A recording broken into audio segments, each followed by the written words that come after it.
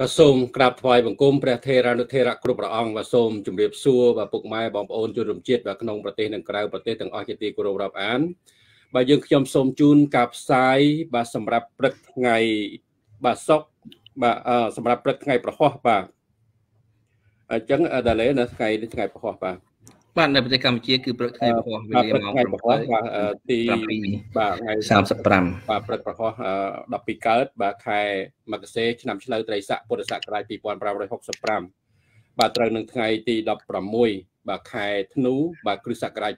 2021បាទនៅក្នុងការផ្សាយបន្តផ្ទាល់វគ្គទី2របស់ទូទួលសម្លេងអ្នកស្ការខ្មែរនៅក្នុងថ្ងៃនេះបាទជួបជាមួយនឹងសម្ដេចដាលេអ៊ុយ ហើយបងប្អូនបានទស្សនាទៅតែចប់បាញ់មិញហើយបងប្អូនមួយចំនួនហ្នឹងក៏បន្តមកមកទស្សនាយើងខ្ញុំទាំងពីរអ្នកបន្តទៀតណាបងប្អូនណាបាទអញ្ចឹងចប់មកវល់ចូលមកវល់ហើយជាពិសេស Brit Britney Baker ប្រហែលជានៅបន្តទេតាមមើល Britney Baker បាទហើយនឹងបីសាយប្រុសហើយបងប្អូនយើងទាំងអស់ទាំងអស់គ្នាប្រហែលជាមកតាមដានបន្តទៀតបាទថ្ងៃនេះខ្ញុំមានប្រធានបទចំនួន2 បាទគឺទីទី1គឺខ្ញុំប្រតិកម្មទៅសុកសុក្រិតជាបាទកូនរបស់សុកអេសាន បាទហើយនឹងប្រតិកម្មទៅនឹងអាពាលចុងភូមិមកហឺនបន្តទៀតបាទបាទហើយប្រធានបទទី2គឺថាហ៊ុនសែនបាទហ៊ុនសែននឹករលឹកដល់សាដាមហ៊ូសេននិងកាដាហ្វីបាទជាប្រធានបទ ផ្នែកបាទព្រោះគេគេនឹកគ្នាបាទបានជាខ្ញុំលើកយកប្រធានបទហ្នឹងយកមកនិយាយនៅក្នុងថ្ងៃនេះណាបាទហើយព្រោះគ្រប់គ្រាន់នៅនឹងប្រធានបទដែលសម្ដេចដែលចូលឡងទៅតែផ្សាយចំអំបញ្ញមិញមុននឹងដែរបងប្អូនណាបាទបងប្អូនបានទស្សនាអំបញ្ញមិញផងដែរបាទហើយហ្នឹងសម្ដេចបងអូនតាឡេអឺធ្វើគិរកិច្ចស្វាគមន៍ដល់បងប្អូនយើងទាំងអស់គ្នាបាទថ្ងៃនេះពាក់កៅអៅតាហ៊ានដូចជារៀងកាចតិចទៀតណាបងប្អូនបាទ ជើញសម្ដេចតាលេបាទខ្ញុំកណាសូមថ្វាយបង្គំព្រះគុណម្ចាស់គ្រប់ព្រះអង្គសូមជម្រាបសួរបងប្អូនជនរួមជាតិទាំងអស់បាទហើយសូមជម្រាបសួរលោកពូអសនមានឆាំនៅរ៉ូតអៃឡែននៅរ៉ូតអៃឡែនសូមជម្រាបសួរបាទជម្រាបសួរបាទផ្ដាំសួរសុខទុក្ខបងស្រីណាមីងផងបាទហើយនឹងជម្រាបសួរផនឈៀងបងបិសាចប្រុសកុលដួងបាទខ្សែជីវិតបុប្ផាឈៀងម៉ៃ and Brittany Baker បង Hill You អឺភក្តីស្មោះសបាទឈ្មោះគាត់ព្រោះបាទរិតាវ៉ាអឺបាទស្អប់អំពើអយុត្តិធម៌ធាភឿងសឹមសុសភាអឺបងតារា NH ប្រហែលជានៅបារាំងគាត់បាទហើយនឹងស្រីណាជំរាបសួរបាទបាទវុធីវុធីកៅសំដែនអយុធ្យាអង្គរទូច អឺបលពូធីរីសេងបាទជំរាបសួរហើយនឹងសាឡនឆាត់រ៉ូសាបាទបាទអូខេបងមិត្តម៉ានបាទជំរាបសួរបងមិត្តម៉ាននោះបងមិត្តម៉ានគាត់ចូលមកវេន2ដែរគាត់នៅបន្តដែរមានអ្នកមើលវេន1ឥឡូវចូលវេន2បន្តទៀតហើយជំរាបសួរបាទញ៉ាមីងញ៉ាមីងមីមីទឺបាទមីទឺគាត់នៅអឺមីទៀវសំទោសបាទមីទៀវគាត់នៅគាត់នៅតិចសាសដែរបាទ បាទបាទអឺបាទវាងវាងសងជុនពីប្រទេសបារាំងតាមជួគាត់បាទបាទប៉ាណាដូម៉ែនអីបើមើលកូនចេះហៅមួយថ្ងៃអានឈ្មោះម្ដងបងបាទហ្នឹងហើយអឺបាទមុននឹងបាញ់មិញហ្នឹងបាទអូបាទសម្ដេចបងអូនសច្ចៈបុនអរគុណហើយអឺបើបើនិយាយពីរឿងខ្ញុំចង់និយាយពីរឿងសុកសុក្រិតឆាតលតែសម្ដេចសច្ចៈបុនចូលពីព្រោះសម្ដេចសច្ចៈបុនគាត់ស្គាល់ សាវតារបស់សុកសុក្រិតឆានោះច្បាស់សុកសុក្រិតឆាកូនរបស់សុកអេសានហ្នឹងណាបាទដែលហ្នឹងដែលវាហ្នឹងខ្ញុំតិចទៀតនឹងនិយាយអំពីហេតុអីបានជាខ្ញុំមកប្រតិកម្មជាមួយនឹងសុកសុក្រិតឆាកូនរបស់សុកអេសានហ្នឹងដោយសារមូលហេតុអីបាទតិចទៀតបាទហើយនឹងបាទនឹងជំរាបសួរបងប្អូនយើងទាំងអស់គ្នាបងបងសួរទាំងអស់គ្នាបងប្អូនណាពីប្រទេសបារាំងពី សហរដ្ឋអាមេរិកហើយបងប្អូននៅក្នុងប្រទេសកម្ពុជាទាំងអស់ផងដែរសូនីតាគឹមបងស្រីសូនីតាគឹមបាទបងវ៉ានីសៀវបាទទាំងអស់គ្នាបងប្អូនសូមជម្រាបសួរស្វាគមន៍ទាំងអស់គ្នាចំពោះការតាមដានវគ្គទី2របស់ទូលទូសម្លេងអ្នកស្ការខ្មែរបាទអញ្ចឹងមុននឹងចូលដល់ប្រធានបទទាំងពីរដោយដែលខ្ញុំបានរៀបរាប់ពីខាងលើបាទខ្ញុំសូមលើកយកនៅព័ត៌មានថ្មីថ្មីមកជម្រាបជូនបងប្អូន អឺសិនបាទគឺថាព័ត៌មានថ្មីថ្មីនេះយើង គឺថាយើងមានសេចក្តីថ្លែងការណ៍របស់គណៈបកសង្គ្រោះជាតិបាទដែលបាទចុះហត្ថលេខាដោយលោកប្រធានស្ដីទីសំរងស៊ីបាទស្ដីអំពីការមិនទទួលស្គាល់អំពីដំណើរទស្សនកិច្ចរបស់ បាទជនផ្ដាច់ការហ៊ុនសែនទៅកាន់ប្រទេសភូមាបាទហើយសម្ដេចដាឡេអ៊ុយគាត់នឹងប្រែផ្លូវបកប្រែជាផ្លូវការនៅបាទបងបង បាទក្រៅផ្លូវការបាទបកក្រាបកស្រាយក្រៅផ្លូវការនៅបាទនៅសេចក្តីថ្លែងការណ៍របស់គណៈបកសង្គ្រោះជាតិបាទគឺនេះសេចក្តីថ្លែងការណ៍របស់គណៈបកសង្គ្រោះជាតិនេះបងប្អូនណាដែលទៅតែចេញ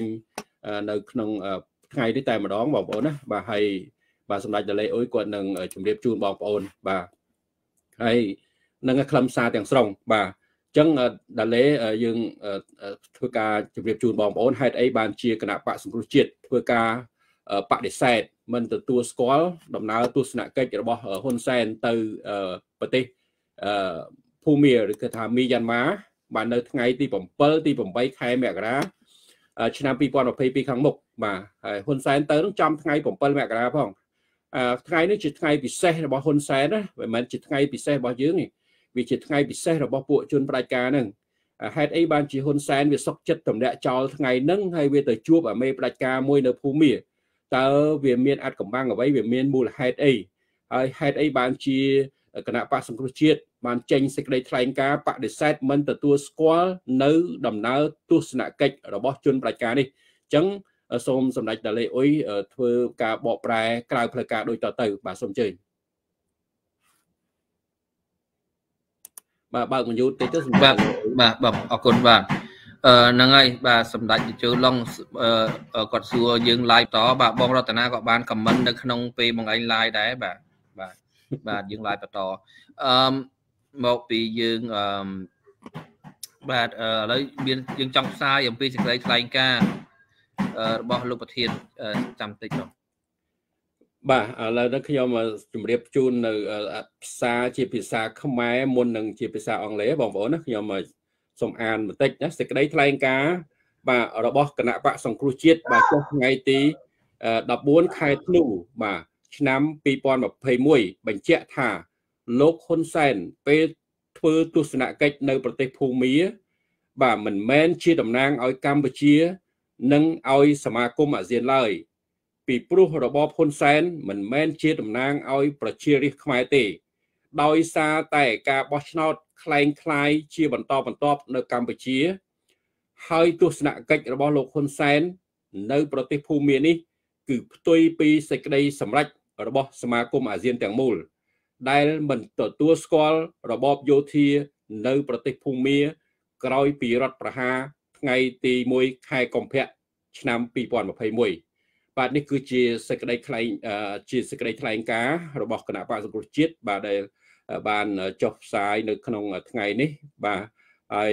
ចុះហត្ថលេខាដោយលោកប្រធានស្ដីទីសំរងស៊ីបាទអញ្ចឹងសម្ដេចតាលេអ៊ុយការបកប្រែនេះគឺវានឹងភាសាអង់គ្លេសហ្នឹងយ៉ាងយ៉ាងណាដែរជាផ្លូវការការទូតដែលលោកប្រធានបានចុះហត្ថលេខាហ្នឹងសម្ដេចតាលេ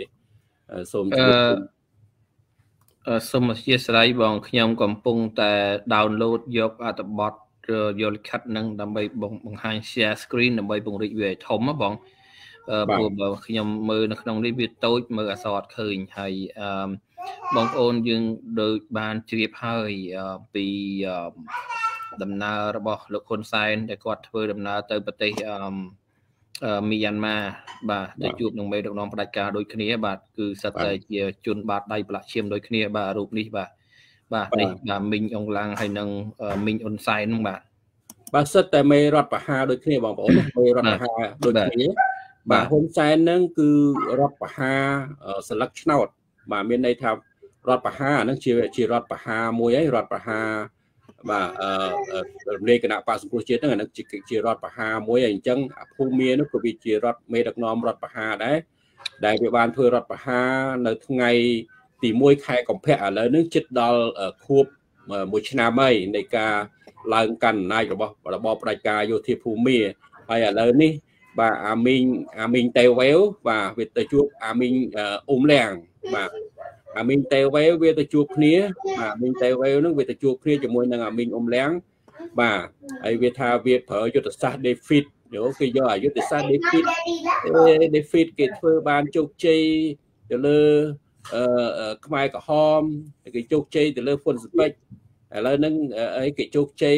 យើងថាមិនជោគជ័យលើគណៈបក្សសង្គ្រោះជាតិទេ defeat របស់ហ៊ុនសែនហ្នឹងមិនយកប្រើការ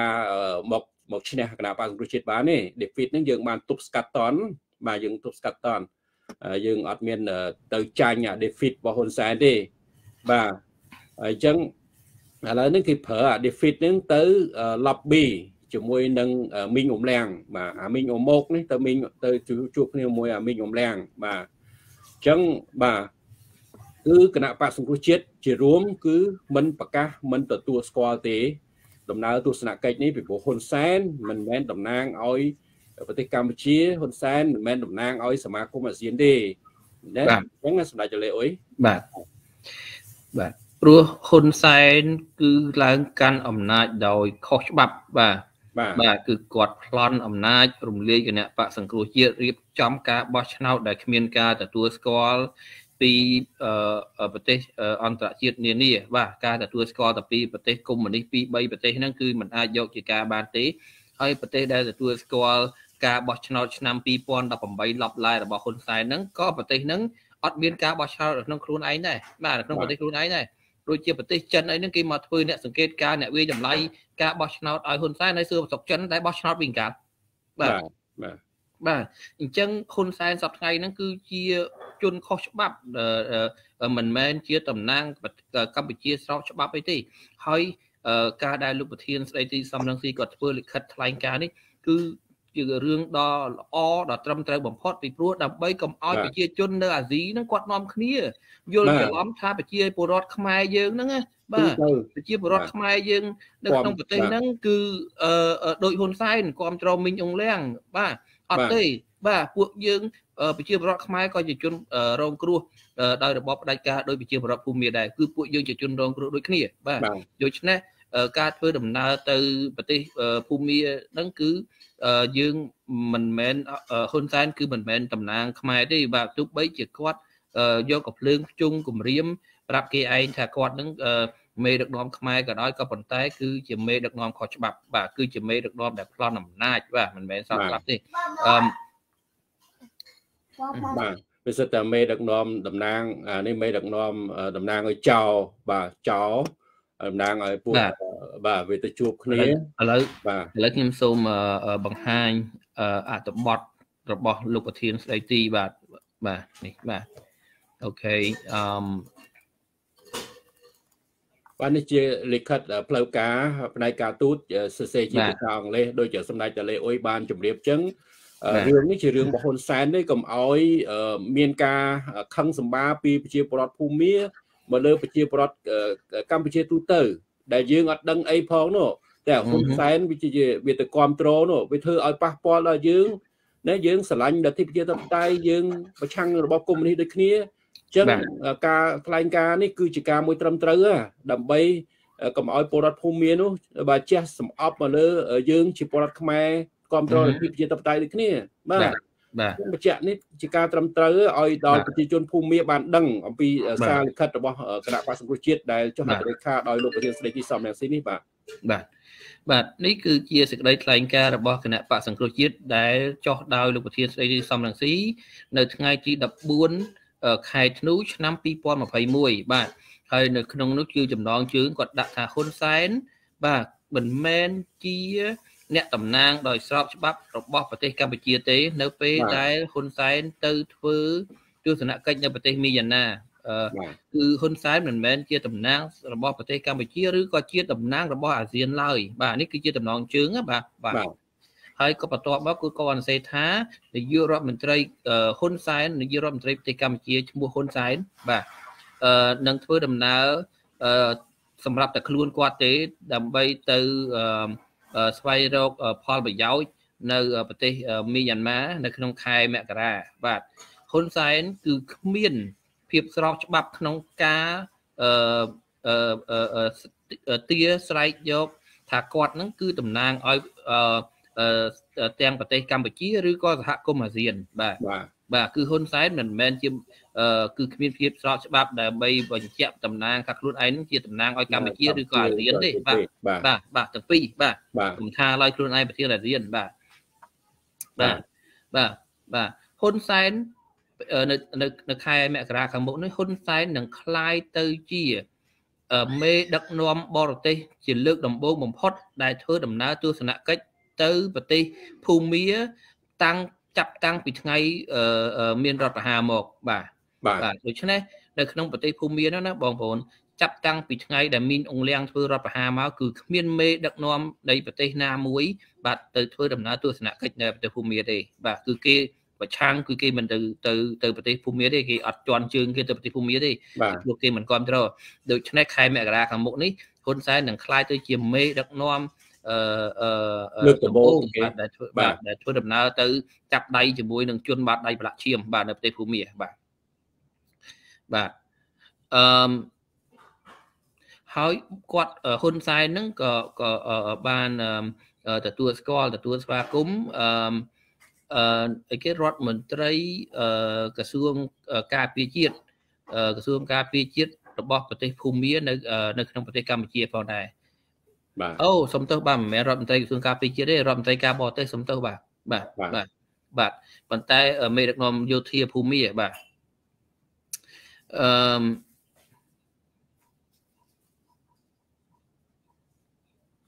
បាទហើយហើយ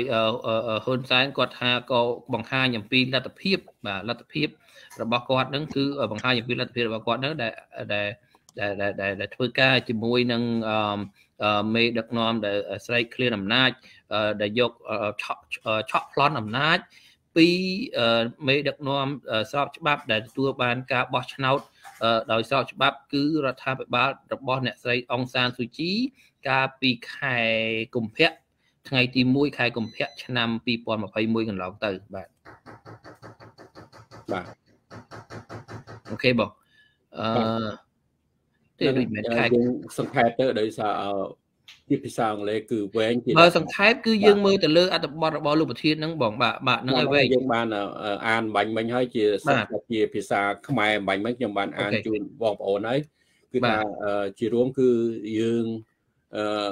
បដិសេធមិនទទួលស្គាល់ទេដំណើរទស្សនកិច្ចនេះគ្រាន់តែជាដំណើរទស្សនកិច្ចរបស់បុគ្គលហ៊ុនសែនទេមិនមែនតំណាងឲ្យកម្ពុជាទេកុំយកទៅបោកដោកបោកឡំយើងអត់ទទួលស្គាល់ដំណើរទស្សនកិច្ចនេះទេ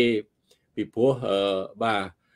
គឺការទៅជួបមេជនផ្ដាច់ការដែលពិភពលោកគេថ្កោលទោសបាទគេថ្កោលទោសទូទាំងពិភពលោកហើយគ្មាន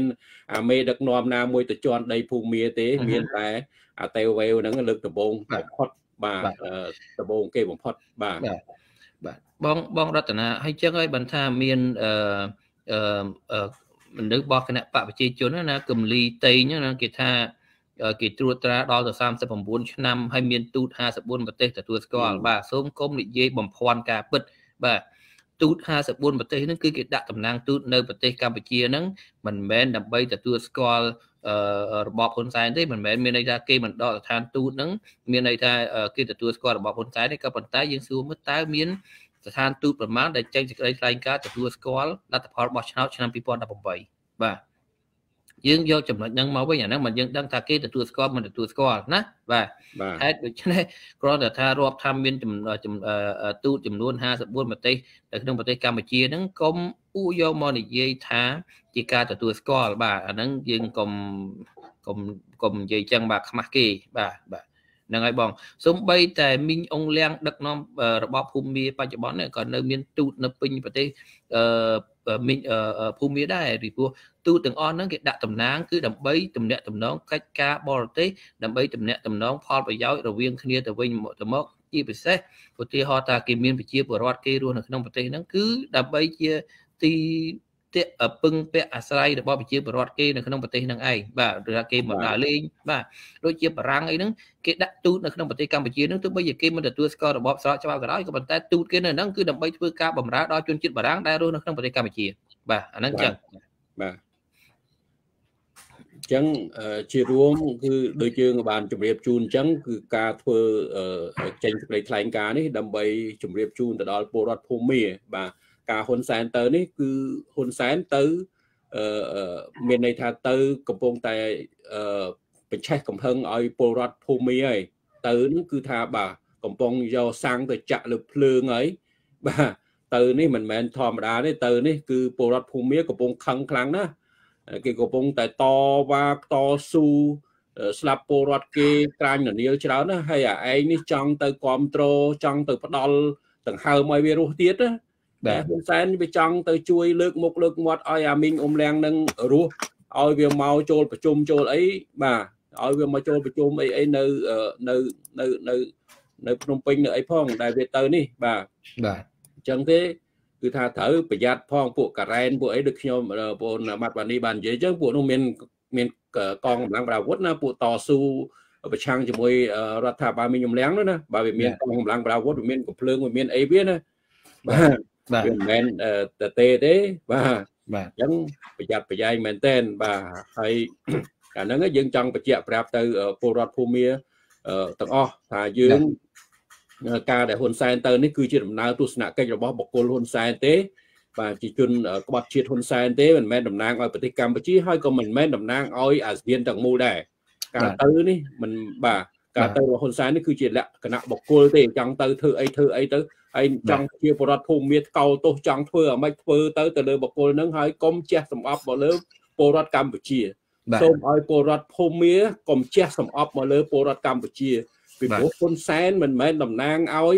ពលរដ្ឋកម្ពុជាមិនមែនតំណាងឲ្យសមាគមអាស៊ានទេគឺទៅនេះគឺជាទៅក្នុងនាមបុគ្គលជនក្បត់ជាតិជនផ្ដាច់ការវាទៅជួបគ្នាតែប៉ុណ្្នឹងទេហ្នឹងខ្ញុំបាទសូមជម្រាបជូនដល់បងប្អូនយើងប៉ុណ្្នឹងអូខេបាទអឺ បងខ្ញុំចង់ឆ្លើយទៅនឹងខមមិនរបស់ពួកអគុណសន្តិភាពបាទមកក្បាលបាទឈ្មោះគេគេដាក់អក្សរ AJ Justin ណាបាទ AJ Justin ហ្នឹងគឺខ្ញុំមិនដឹងថា AJ ហ្នឹងគេតំណាងអីទេបើយ៉ាងនេះយើងគាត់តែស្មាន A A ហ្នឹងគឺយើង A ហើយបាទ A ហ្នឹង A ហើយហើយ J J ហ្នឹងអាហ្នឹងខ្ញុំមិនដឹងយើងបងប្អូនយើងគាត់អានថាមិនទេអក្សរកាត់ណាព្រោះខ្ញុំធ្លាប់ឃើញគេសេអក្សរ JM ខ្មែរយើងក្មេងៗណាបាទជួនកាលគាត់សេអើយសាំ JM អីណាជួនកាលទៅថ្ងៃហ្នឹងពិបាកចិត្ត JM ក៏ដាក់អក្សរ JM ហ្នឹងខ្ញុំមិនដឹងមានន័យថាម៉េចប៉ុន្តែ AJ ហ្នឹងគេដាក់ A ហ្នឹង A ហើយហើយ J ហ្នឹងមិនដឹងអាហ្នឹងអក្សរកាត់អីគេទេបាទអញ្ចឹង Justin នឹងមិនដឹងជាឈ្មោះអីទេបាទឈ្មោះឈ្មោះមិនឈ្មោះខ្មែរទេបាទគេគេអត់មានលើតនៈមោទនភាពដាក់ខ្មែរទេគឺដាក់ឈ្មោះបាទហ្នឹងនេះក៏ប៉ុន្តែយើងចង់និយាយថាគេទៅសេថាអត់មានអ្នកណាទទួលស្គាល់សេចក្តីថ្លែងការណ៍របស់លោកប្រធានសំរងស៊ីបាទចង់បញ្ជាក់ប្រាប់ថាអញ្ចេះបាទ សម្រាប់សហគមន៍អន្តរជាតិនៅលើឆាកអន្តរជាតិលោកប្រធានសំរងស៊ីគេទទួលស្គាល់ជាមេដឹកនាំអឺប្រឆាំងនឹងរបបផ្ដាច់ការគឺជាអ្នកប្រជាធិបតេយ្យអន្តរជាតិបាទសូមមើលឈ្មោះរបស់លោកប្រធានសំរងស៊ីនៅក្នុង Google បាទកុំកុំមើលអឺកុំកុំអានេះយើងយើងយើងយើងឲ្យដឹងអញ្ចឹងបើហើយសម្រាប់អញ្ចឹងទៅស្រាវជ្រាវបន្តទៀតអំពីប្រវត្តិសាវតារបស់លោកប្រធានស្ដីទីសំរងស៊ី បាទពីសកម្មភាពរបស់គាត់ណាហើយអញ្ចឹងខ្ញុំមិនទេខ្ញុំឃើញខមមិនរបស់ AG Justin នឹងដែរខ្ញុំមិនចាប់អារម្មណ៍ខ្ញុំមិនអានខ្ញុំមិនយកមកបកស្រាយទេពីព្រោះវារឿងកប៉ិចកប៉ុកពួកហ្នឹងវារឿងកកំប៉ុងហើយខ្ញុំមិនត្រូវទៅអានអញ្ចឹងអញ្ចឹងទេហើយខ្ញុំកំពុងតែប្រតិកម្មទៅរឿងជាមួយនឹងអាជនផ្ដាច់ការទេខ្ញុំអត់មានទឹកខ្វល់ជាមួយអាជេ Justin អាជេមិន Stin ស្អីស្អីទេ ពីព្រោះអានេះវាគ្មានអីទេវាគ្រាន់តែជាសត្វកង្កែបក្នុងដងមួយតែប៉ុណ្្នឹងទេអត់មានត្រូវអីទៅវែកញែកបកស្រាយជូនវាទៅបីវាយើងបកស្រាយក៏វាមិនទទួលយកដែរអ្វីដែលជាការពិតនោះយើងបកស្រាយថារឿងហ្នឹងវាការទូតគេទទួលស្គាល់យ៉ាងណាក៏វាមិនទទួលស្គាល់ដែរពួកអស់នេះនេះបាទតលតែអានេះតលតែបាទអានឹងមានតែនេះទេបាទ ខ្ញុំខ្ញុំឃើញបងប្អូនយើងគាត់ខមមិនបាទខមមិនអាចេអាចោហ្នឹងបាទអាចេអាចោហ្នឹងសម្ដេចសច្ចៈបុនអាហ្នឹងបានជួបសម្ដេចសច្ចៈបុនបានស្គាល់អាចេអាចោហ្នឹងអាចេអា Justin ស្អីហ្នឹងខ្ញុំអត់ទេខ្ញុំអត់មានរវីរវល់ទៅឆ្លើយទៅវាថាយើងមាសក៏វាមិនជឿថាយើងមាសដែរពួកអានេះនេះអឺ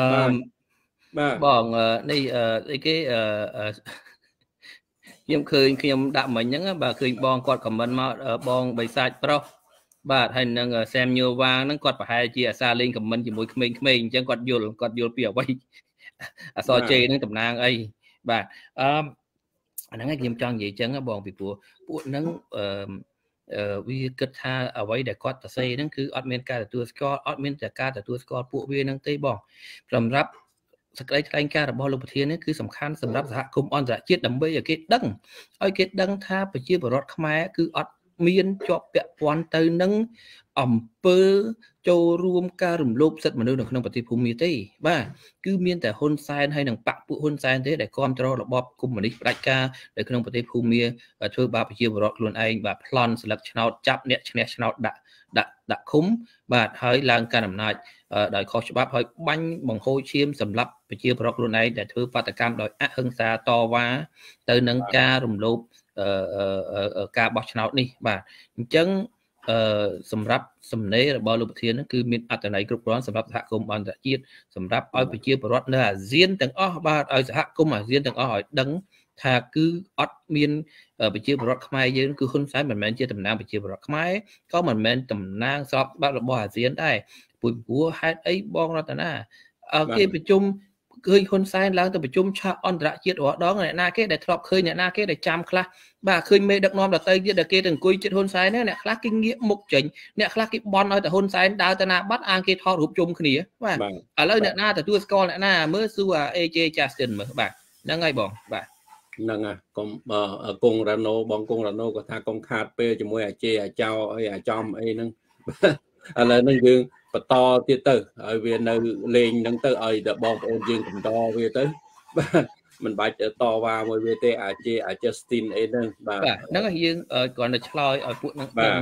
មិនមែនមិនមែនសំដៅទៅលើថាមួយហ្នឹងទេបើសំដៅទៅលើគ្នាពួកនឹងប្រមាណអ្នកទាំងអស់ដែលវាចង់មានទស្សនៈបែបហ្នឹងឲ្យយល់បាទអូខេបងបន្តចុះបាទហ្នឹងអរគុណឥឡូវហ្នឹងមុននឹងបាញ់មិញមុននឹងចូលដល់ប្រធានបទក្តៅនោះគឺយើងជម្រាបជូនបងប្អូន អំពីសារលិខិតសេចក្តីថ្លែងការណ៍របស់គណៈបកសង្គ្រោះជាតិហ្នឹងណាបងប្អូនណាបាទដើម្បីជម្រាបជូនដល់ប្រជាពលរដ្ឋយើងក៏ដូចជាប្រជាពលរដ្ឋភូមាក៏ដូចជាប្រជាពលរដ្ឋនៅក្នុងតំបន់អាស៊ីអាគ្នេយ៍ទាំងអស់ តែម្ដង បាទគឺអានឹងយើងចេញសេចក្តីថ្លែងការណ៍តាន់ពេលវេលាថ្ងៃថ្ងៃក្រោយគណៈគណៈបកសង្គ្រោះជាតិទៅដឹកនាំប្រទេសគឺយើងនឹងវាយើងបានការពាររួចហើយយើងមិនទទួលស្គាល់រួចហើយយើងបានចេញនឹងបកាមួយថ្ងៃក្រោយទៅវាថាអាមេដឹកនាំកម្ពុជាមេដឹកនាំកម្ពុជាហ្នឹងវាទៅទទួលស្គាល់អញ្ចឹងចឹងទៅវាប៉ះពាល់ទៅដល់ មុខមាត់នៃប្រទេសរបស់យើងប៉ះពាល់ដល់ប្រជាពលរដ្ឋរបស់យើងអញ្ចឹងយើងយើងយើងយើងនេះហើយយើងប្រកាសឲ្យហើយបាទអញ្ចឹងបាទអញ្ចឹងឲ្យវាទៅទៅតម្រាច់តាលេអុយឲ្យវាទៅទៅបើសិនជាវានៅតែខ្លាំងប្រឹងទៅឲ្យវាទៅទៅថ្ងៃ7 8មករាហ្នឹងណាបាទ7 8មករាហ្នឹងប្រហែលជាវាអត់ធ្វើបុណ្យ7មករាទេប្រហែលជាវាទៅនោះហើយពីព្រោះវាចង់យកមុខយកមាត់នៅលើពិភពលោកថាបង្ហាញថាអូវាបានទៅជួប ដោះស្រាយបញ្ហាអាផ្ដាច់ការភូមិដែលពិភពលោកគេដោះស្រាយបានណាវាចង់ទៅបញ្ជាក់វាចង់ទៅបង្ហាញស្នាដៃវាវាចង់បានមេដាយសន្តិភាពកម្រិតវាណាវាចង់បានមេដាយសន្តិភាពមួយទៀតពីពីអង្គការសហប្រជាជាតិពីពិភពលោកចឹងថាអូគេបានដោះស្រាយបញ្ហាភូមិស្អីស្អីហើយណាបាទអើតែថាភូមិព្រមវិលមកប្រជាធិបតេយ្យអីអីវិញអីអីហ្នឹងឲ្យមានការបោះឆ្នោតដោះលែង អ្នកទោសអ្នកស្ការខ្មែរហ្នឹងវាលេងលបែងនយោបាយតាមហ៊ុនសែននឹងដដែលហ្នឹងវាឲ្យមានបង្កើតគណៈបកនយោបាយតូចតូចអីហ្នឹងប្រកួតប្រជែងបោះឆ្នោតគណៈកម្មការបោះឆ្នោតហ្នឹងលើវាដដែលដដែលហ្នឹងវាលេងក្បួនអាហ្នឹងតែអាក្បួន David ហ្នឹងវាយកទៅលេងនៅហ្នឹងទៀតវាយកទៅឲ្យលេងភូមិហ្នឹងភូមិលេងលេងតាមវាទៀតឈួតលេងតាមវាទៀតឈួតឈួតហ្នឹងភូមិត្រូវតែពលរដ្ឋភូមិត្រូវតែបដកម្មបដកម្មប្រឆាំងជាមួយនឹង អាតេវេវហ្នឹងប្រឆាំងជាមួយនឹងជនប្រជាការហ្នឹងពលរដ្ឋភូមិនៅនៅអាមេរិកគេត្រៀមធ្វើបាតកម្មខ្ញុំដឹងខាងថ្ងៃណាទេសម្ដេចតាលេគេពលរដ្ឋភូមិគេទៅទៅបាតកម្មនៅទូតខ្មែរនៅនៅវ៉ាស៊ីនតោនហ្នឹងបាទគេទៅដោយសាររឿងអាតេវេវហ្នឹងដែលលូកដៃចូលទៅក្នុងកិច្ចការផ្ទៃក្នុងរបស់ប្រទេសគេអាហ្នឹងឯងវាឆ្លៀនពៀនណាវាលូកវាលូកដៃទៅក្នុងដែនអធិបតេយ្យភាពរបស់គេបាទ អត់ទេអាហ្នឹងអាហ្នឹងរឿងហ្នឹងអត់បានទេគឺប្រជាប្រដ្ឋភូមិខឹងខ្លាំងណាស់ទុះកំហឹងហើយរឿងហ្នឹងមិនមែនធម្មតាទេគឺអានេះបាទខ្ញុំជំរាបជូនបងប្អូនជ្រាបអំពីបាទទស្សនកិច្ចរបស់អាតេវវេវហ្នឹងវាទៅភូមិហ្នឹងវាចង់បានមេដាយសន្តិភាពបន្តទៀតមកអាហ្នឹងសន្តិភាពមិនដឹងទេចាំមើលវាទៅឲ្យវាទៅទៅបាទអាហ្នឹងវិភាគយើងចំណុចចាប់ដើមមិនហ្នឹងណាដល់តែលេ មានអ្វីបន្ថែមផ្សេងទៀតដែលយើងនឹងអាចចូលទៅដល់បាទប្រធានបទបន្ទាប់ប្រធានបទរបស់យើងបាទសម្រាប់តលេអឺអត់អីបងបើអញ្ជើញអញ្ជើញបន្តចុះបងបាទបាទ ឡើងហើយបច្ចេខ្ញុំបច្ចេបានហៅខ្ញុំតាមតាហើមមិនចាំមិនថានឹងបងមុននឹងវាបៃមើលកៅអៅស្លៀកពាក់កៅអៅសំរុំអញ្ចឹងប៉ុន្តែវាមិនសមខ្លាយជាមិនមានតម្លៃថោកទៀតអានេះវា represent ឲ្យហ៊ុនសែនបងបងអានេះវា represent ឲ្យហ៊ុនសែនសម្ដីវាទៅទេហៅយើងអាមឹងនេះណាអានេះវា represent ឲ្យហ៊ុនសែនមានន័យថាវាតំណាងឲ្យហ៊ុនសែនបាទវាតំណាងឲ្យទង្វើថោកទាបសម្ដីពីលដោយហ៊ុនសែនអញ្ចឹងបាទអរគុណអរគុណហ្នឹងហើយ អូខេឥឡូវយើងចូលប្រធានបទយើងតែម្ដងទៅពាក់ព័ន្ធទៅនឹងខ្ញុំចង់ប្រតិកម្មទៅនឹងជាមួយនឹងបាទអាមួយនេះបាទអឺនេះអាសុកសក្រិតជានេះបាទអាសុកសក្រិតជានេះបាទនេះរូបវាជាមួយនឹងអតេវេវបាទវារូបនឹងគូរេបាទថ្ងៃនេះចង់ប្រតិកម្មទៅជាមួយនឹងអាសុកសក្រិតជាហ្នឹងហេតុអីបានជាខ្ញុំត្រូវប្រតិកម្មទៅជាមួយវាបាទ ហេតុអីបានជាខ្ញុំត្រូវប្រតិកម្មទៅជាមួយនឹងអាសុកសក្រិតជាហ្នឹងបាទបងប្អូនត្រូវដឹងថាអាសុកសក្រិតជានេះវាជាកូនរបស់សុកអេសាន វាជាកូនរបស់សុកអេសាន ហើយអាជនមួយនេះបាទអានេះជាឃាតករឈាមត្រជាក់មួយដូចអាហេងសួរអញ្ចឹងมันខុសគ្នាប្រហែលទេបាទអាហ្នឹងឯងអាហេងសួរมันខុសគ្នាប្រហែលទេហើយវត្តមានរបស់វាសពថ្ងៃហ្នឹងវាកំពុងនៅប្រទេសថៃនៅឡើយទេ បាទឥឡូវនេះវាកំពុងនៅថៃទេវាមានប្រពន្ធជាជនជាតិថៃអាមួយសុកសក្រិតជាហ្នឹងវាមានប្រពន្ធជាជនជាតិថៃហើយវាប្រពន្ធវានឹងមានតំណែងតំណងជាមួយនឹងអឺរាជការរបស់ប្រទេសថៃប្រពន្ធរបស់អាសុកសក្រិតជាហ្នឹងបាទអានេះហើយជាអ្នកដើមហេតុអបង្កឲ្យមានការចាប់ខ្លួនសកម្មជនភៀសខ្លួននយោបាយនៅក្នុងប្រទេសថៃគឺដោយសារអាសុកសក្រិតជានេះបាទនេះបងប្អូនចំណាំមុខវា បងប្អូននៅក្នុងប្រទេសថៃចំណាំមុខវាពលករនៅក្នុងប្រទេសថៃចំណាំមុខអាមួយនេះបាទឃើញវានៅកន្លែងណាបាទហ្នឹងហើយចាត់ការខ្លះទៅចាត់ការខ្លះទៅណាបាទអាហ្នឹងហើយដែលជាអ្នកបង្កបង្កមហន្តរាយបង្កដល់គ្រោះរងដល់ជនរងគ្រោះណាដែលកំពុងភៀសខ្លួននៅនយោបាយនៅក្នុងប្រទេសថៃហ្នឹងដែលវាធ្វើឲ្យមានការចាប់ខ្លួនមកទល់នឹងបច្ចុប្បន្ននេះមានចំនួន4នាក់ហើយ បាទហើយអឺថ្មីថ្មីនេះទៅតែចាប់ម្នាក់ទៀតគឺពលករគាត់មានសិទ្ធិភៀសខ្លួនគាត់មានសិទ្ធិជាជនភៀសខ្លួននយោបាយហើយប៉ុន្តែគាត់រត់ចេញពីក្នុងឡានប៉ូលីសថៃមកបានមកវិញបាទតាមព័ត៌មានអាស៊ីសេរីហើយតាមការដកស្រង់ចេញពីបងអូនចំផាតគឺថាបាទគាត់ឈ្មោះអីរ៉ាទេអីស្អីរ៉ាខ្ញុំមិនបានចាំឈ្មោះណាបាទដែលបងប្អូនបានស្ដាប់វិសុអាស៊ីសេរីផ្សាយហើយ គឺវាចាប់ចុងក្រោយនេះចាប់ពលករភៀសខ្លួននៅក្នុងប្រទេសថៃបាទហើយគាត់បានរត់រួចវិញបាទរត់រួចឥឡូវនេះកំពុងតែលាក់ខ្លួននៅកន្លែងតំបន់មានកន្លែងមានសុវត្ថិភាពហើយបងប្អូនណាបាទគឺដោយសារអាសុកសុក្រិតឆានេះកូនរបស់អាសុកអេសាន បាទអានេះគឺជាបាទពួកវានេះគឺជាជាយួនទេអាសុកអេសាននេះគឺជាអាយួន យួនថ្មីខ្មៅមកពីហាណូយប្រវត្តិរបស់វា បាទគឺជាជនជាតិយួនទេគឺអាសុកអេសាននេះបងប្អូនបាទហើយអាសុកសុក្រិតឆានេះសពថ្ងៃវានៅក្នុងប្រទេសថៃទេវាកំពុងតែធ្វើអន្តរាគមឲ្យសមត្ថកិច្ចថៃរដ្ឋាភិបាលថៃកំពុងតែចាប់អ្នកគ្រប់គ្រងគណៈបកសង្គ្រោះជាតិបងប្អូនដែលកំពុងភៀសខ្លួនផ្នែកនយោបាយនៅក្នុងប្រទេសថៃអានេះនៅក្នុងនៅប្រទេសថៃឡើយទេវានៅសងំនៅពួននៅនឹងឡើយទេបងប្អូនណាបាទវានៅពួននឹងឡើយទេហើយ បាទអញ្ចឹងបាទគឺថាដោយសារជននេះបងប្អូនណាអញ្ចឹងបានជាខ្ញុំត្រូវប្រតិកម្មមួយវាហើយបាទអានេះទាំងឪទាំងកូនវាចង្រិតចរិតវាព្រៃផ្សៃដូចគ្នាអាឪនោះបាទបងប្អូនស្គាល់ហើយស្គាល់ហើយអាសុកអេសានអ្នកនាំពាក្យអឺរដ្ឋាភិបាលចៅហ៊ុនសែនណាណាបាទអាសុកអេសានហ្នឹងអ្នកនាំពាក្យរដ្ឋាភិបាលចៅហ៊ុនសែនបាទហើយអាកូននេះ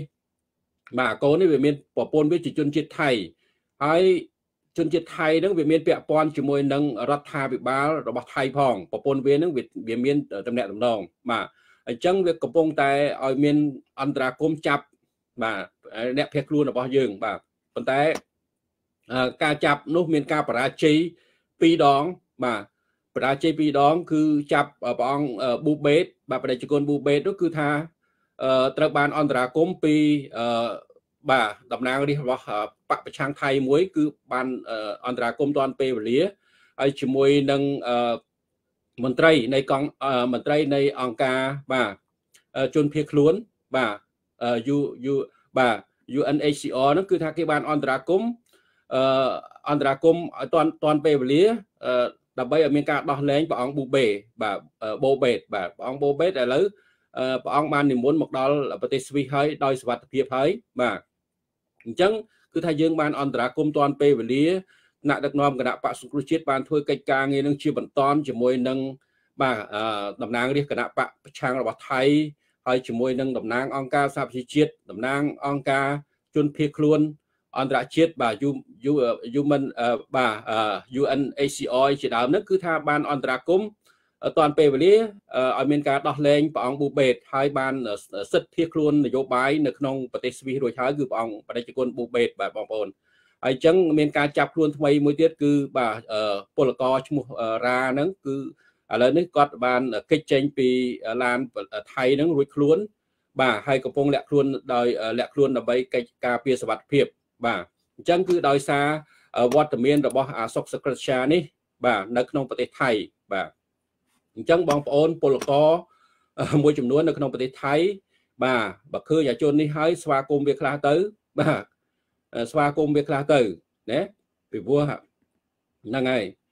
យើងវាវាធ្វើបាបយើងបងប្អូនអាហ្នឹងដែលតែធ្វើឲ្យបងប្អូនហ្នឹងបាទណាវាចាប់បញ្ជូនបងប្អូនហ្នឹងមកឲ្យជាប់គុកនៅក្នុងប្រទេសកម្ពុជា អានេះវាបាទអឺវាវាធ្វើនេះវាមាន បាទវាមានផលប្រយោជន៍របស់វាអាកូនសុកអេសានេះបងប្អូនណាបាទអញ្ចឹងវាធ្វើនេះវាមានបាទហ៊ុនសែនវាបជាឲ្យធ្វើបាទអញ្ចឹងហើយអានេះវាមានប្រពន្ធជាជនជាតិថៃផង បាទជាជនជាតិថៃផងណាបងប្អូន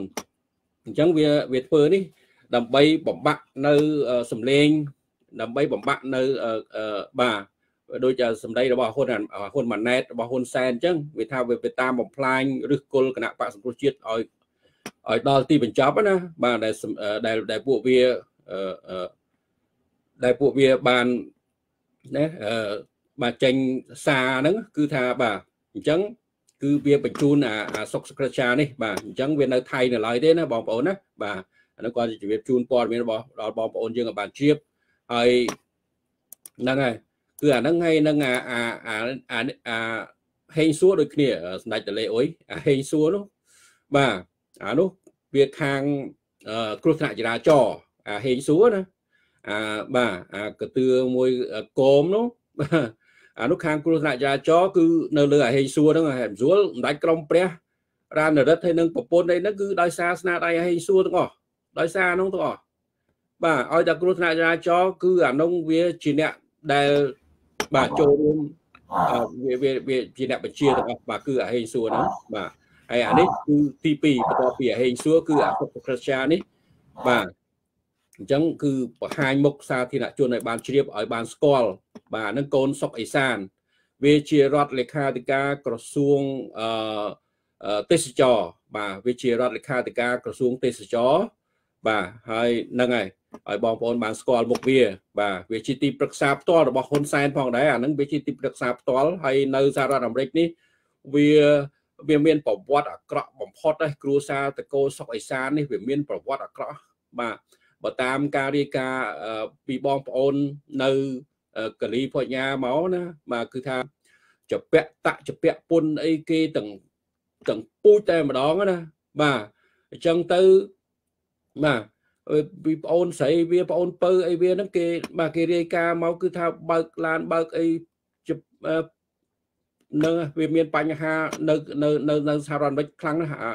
បាទក្រុមគ្រួសាររបស់សុកអេសាហ្នឹងបាទអញ្ចឹងបានជាវាទៅដល់ស្រុកខ្មែរហ្នឹងបងប្អូនអត់ដឹងវាសាវតាវាអាហ្នឹងវាធ្លាប់វាយដូណាត់វាយអី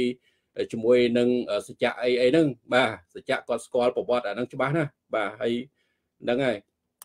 ហ្នឹងហើយខ្ញុំចង់ប្រតិកម្មទៅជាមួយនឹងអាហ្នឹងតិចពីព្រោះអានេះហើយដែលធ្វើឲ្យបងប្អូនជនភៀសខ្លួននយោបាយរបស់យើងនៅក្នុងប្រទេសថៃហ្នឹង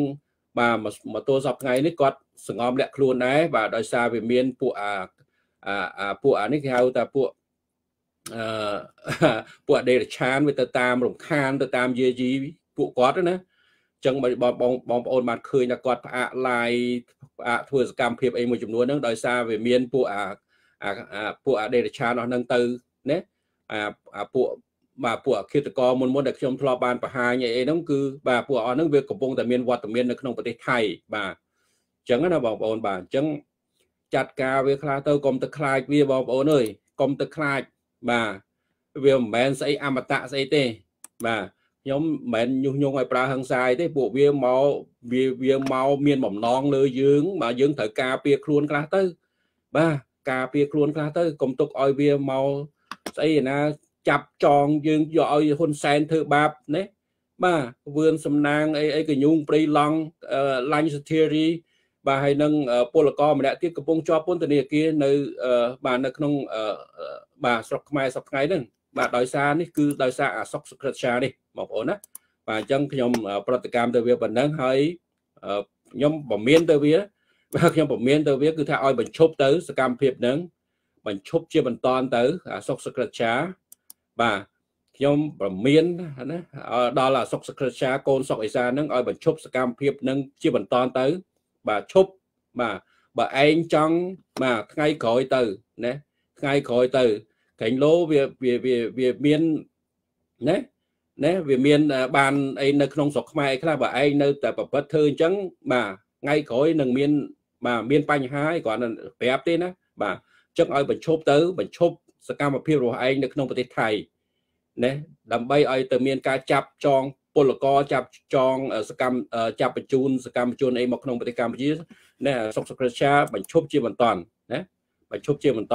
បាទបងរតនាបើសិនជាទង្វើរបស់វាធ្វើថោកទាបនៅប្រទេសថៃមែនណាបាទបងប្អូនយើងដែលស្គាល់ហាងពួកនឹងរ៉ូស៊ីនៅអាមេរិកហ្នឹងគឺថាត្រូវធ្វើពហិខាជប់ទិញឈប់ប្រើប្រាស់របស់របរពួកវាឈប់ទិញឈប់ចូលហាងពួកវាបាទបាទ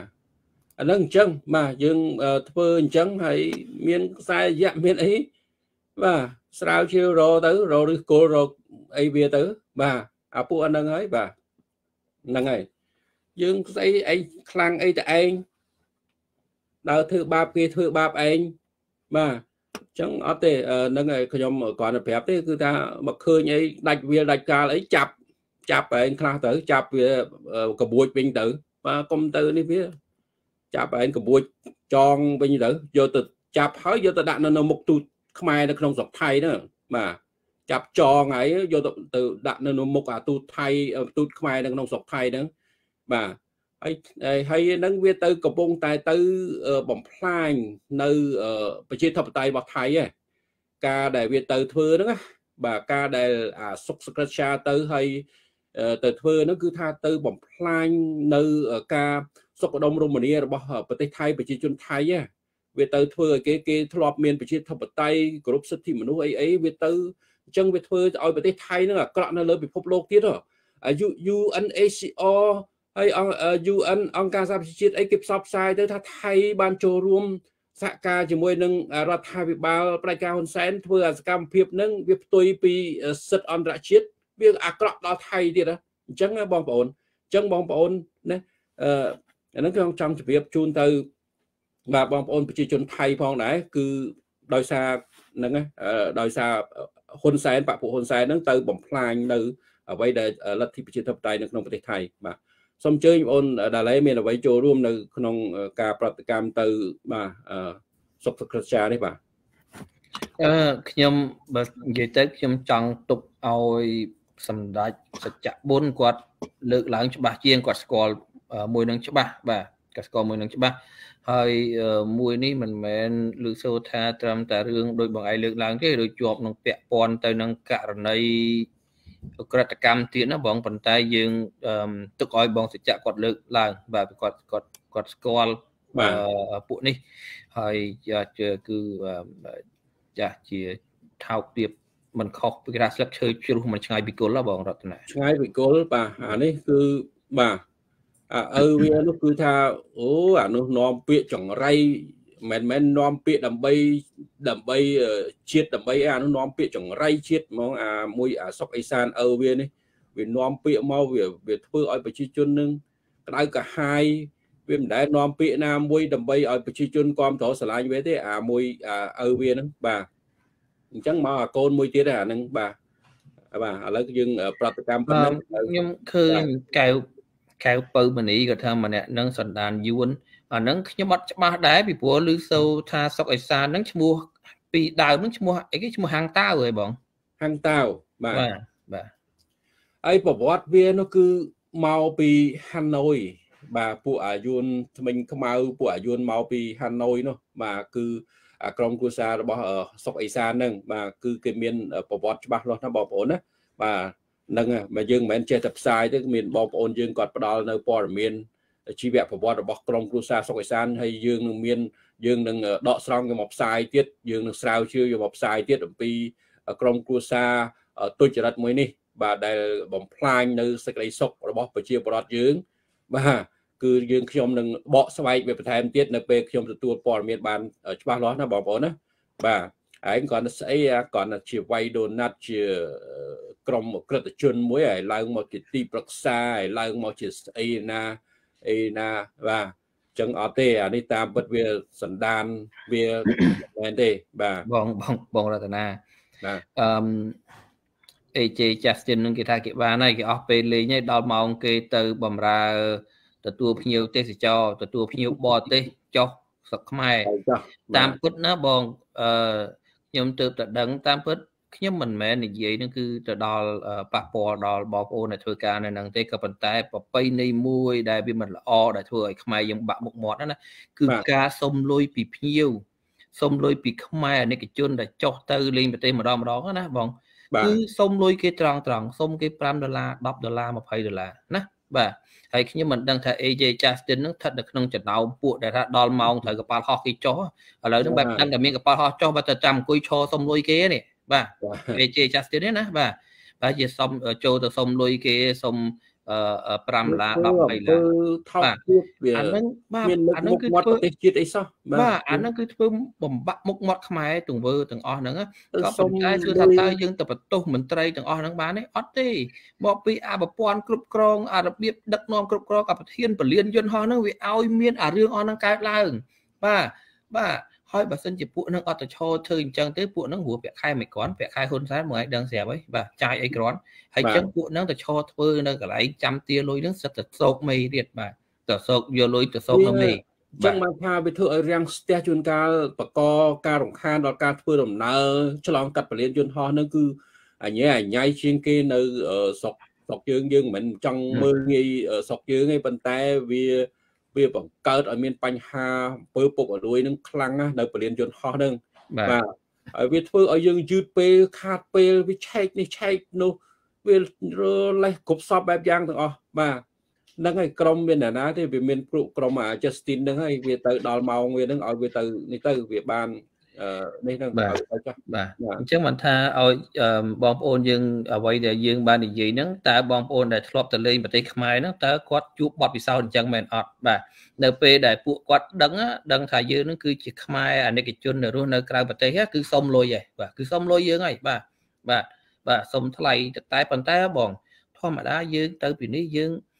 ឃើញពួកគាត់ធ្វើការអញ្ចឹងយើងនឹកឃើញថាប្រាក់ខែយើងដឹងពួកគាត់នឹងប្រាក់ខែតិចតួចដូចបើគាត់ថាគេហាមាត់សុំអញ្ចឹងបាទតិចច្រើនគឺយើងឲ្យយើងឲ្យហីបាទក៏ប៉ុន្តែវាជាប្រពៃណីមួយមិនថ្លៃថ្នូរគឺជា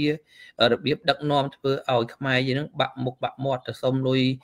ជនបរទេសហើយហើយចុះបើបើសុំជនបរទេសទៀតអញ្ចឹងណាទោះបីជានៅលើផ្លាកហ្នឹងគេដាក់ថាมันមានការតម្រូវការបងលុយបងអីប៉ុន្តែ ផ្លាកដាក់តែផ្លាកទេតែមាត់គឺនៅតែមាត់និយាយហ្នឹងហើយបើមិនមែនប្រធានពលានយន្តហោះនៅកន្លែងធ្វើការហ្នឹងមិនដឹងថារឿងទាំងអស់ហ្នឹងវាកើតឡើងទេបងពួកហ្នឹងសុំបានប្រមាណគឺថាត្រូវបងលុយទៅឲ្យមេបើមិនបានបងលុយទៅឲ្យមេទេពួកហ្នឹងត្រូវទៅឈរនៅចាំអាកន្លែងកត់អីវ៉ាន់ខាងក្រោយកន្លែងអត់មានមនុស្សចេញចូលណាអាហ្នឹងបងបងឲ្យមេបាទអញ្ចឹងបាទអញ្ចឹងខ្ញុំថា សួរបង Robert Lee ក៏ធ្លាប់ទៅលេងស្រុកខ្មែរបង Penelope Johnson អីអ្នកណាដែលធ្លាប់ទៅលេងស្រុកខ្មែរខ្ញុំក៏ធ្លាប់បាទខ្ញុំក៏ធ្លាប់ដែរបាទមិនមែនធ្លាប់ទេប៉ុន្តែបាទវាវានេះវាវាវាចំណាំខ្ញុំអត់បានវាចំណាំខ្ញុំអត់បាន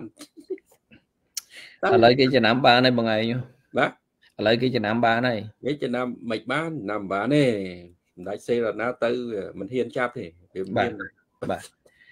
បាទអឺសូនេះយើងមិនមែនជាអ្នកមើលងាយខ្មែរទេ បាទគឺហ៊ុនសែនដែលធ្វើឲ្យគេមើលងាយខ្មែរបាទហ៊ុនសែនដែលមើលងាយខ្មែរបាទណាគេមើលងាយខ្មែរបាទមេអាតេវវេវទេដែលវាមើលងាយខ្មែរនោះវាធ្វើឲ្យខ្មែរអត់អោនបើសិនជាយើងចង់ផ្ដល់តម្លៃឲ្យខ្មែរទី1គឺធ្វើត្រូវបើកប្រាក់ខែពួកគាត់ឲ្យបានសមរម្យណាបាទគឺរបបប្រាក់ខែពួកគាត់ឲ្យសមរម្យឲ្យពួកគាត់បានធ្វើប្រាក់ខែអាចចិញ្ចឹមក្រុមគ្រួសារខ្លួនឯងបានណា គឺគាត់អត់ចាំបាច់ទៅធ្វើរឿងអញ្ចឹងទេបងបាញ់ទាំងគេទាំងខ្ញុំមកបងទៅឈរពាក់ឯកសន្តានថ្លៃធ្នូទៅឈរសុំលុយគេអញ្ចឹងខ្មាស់គេណា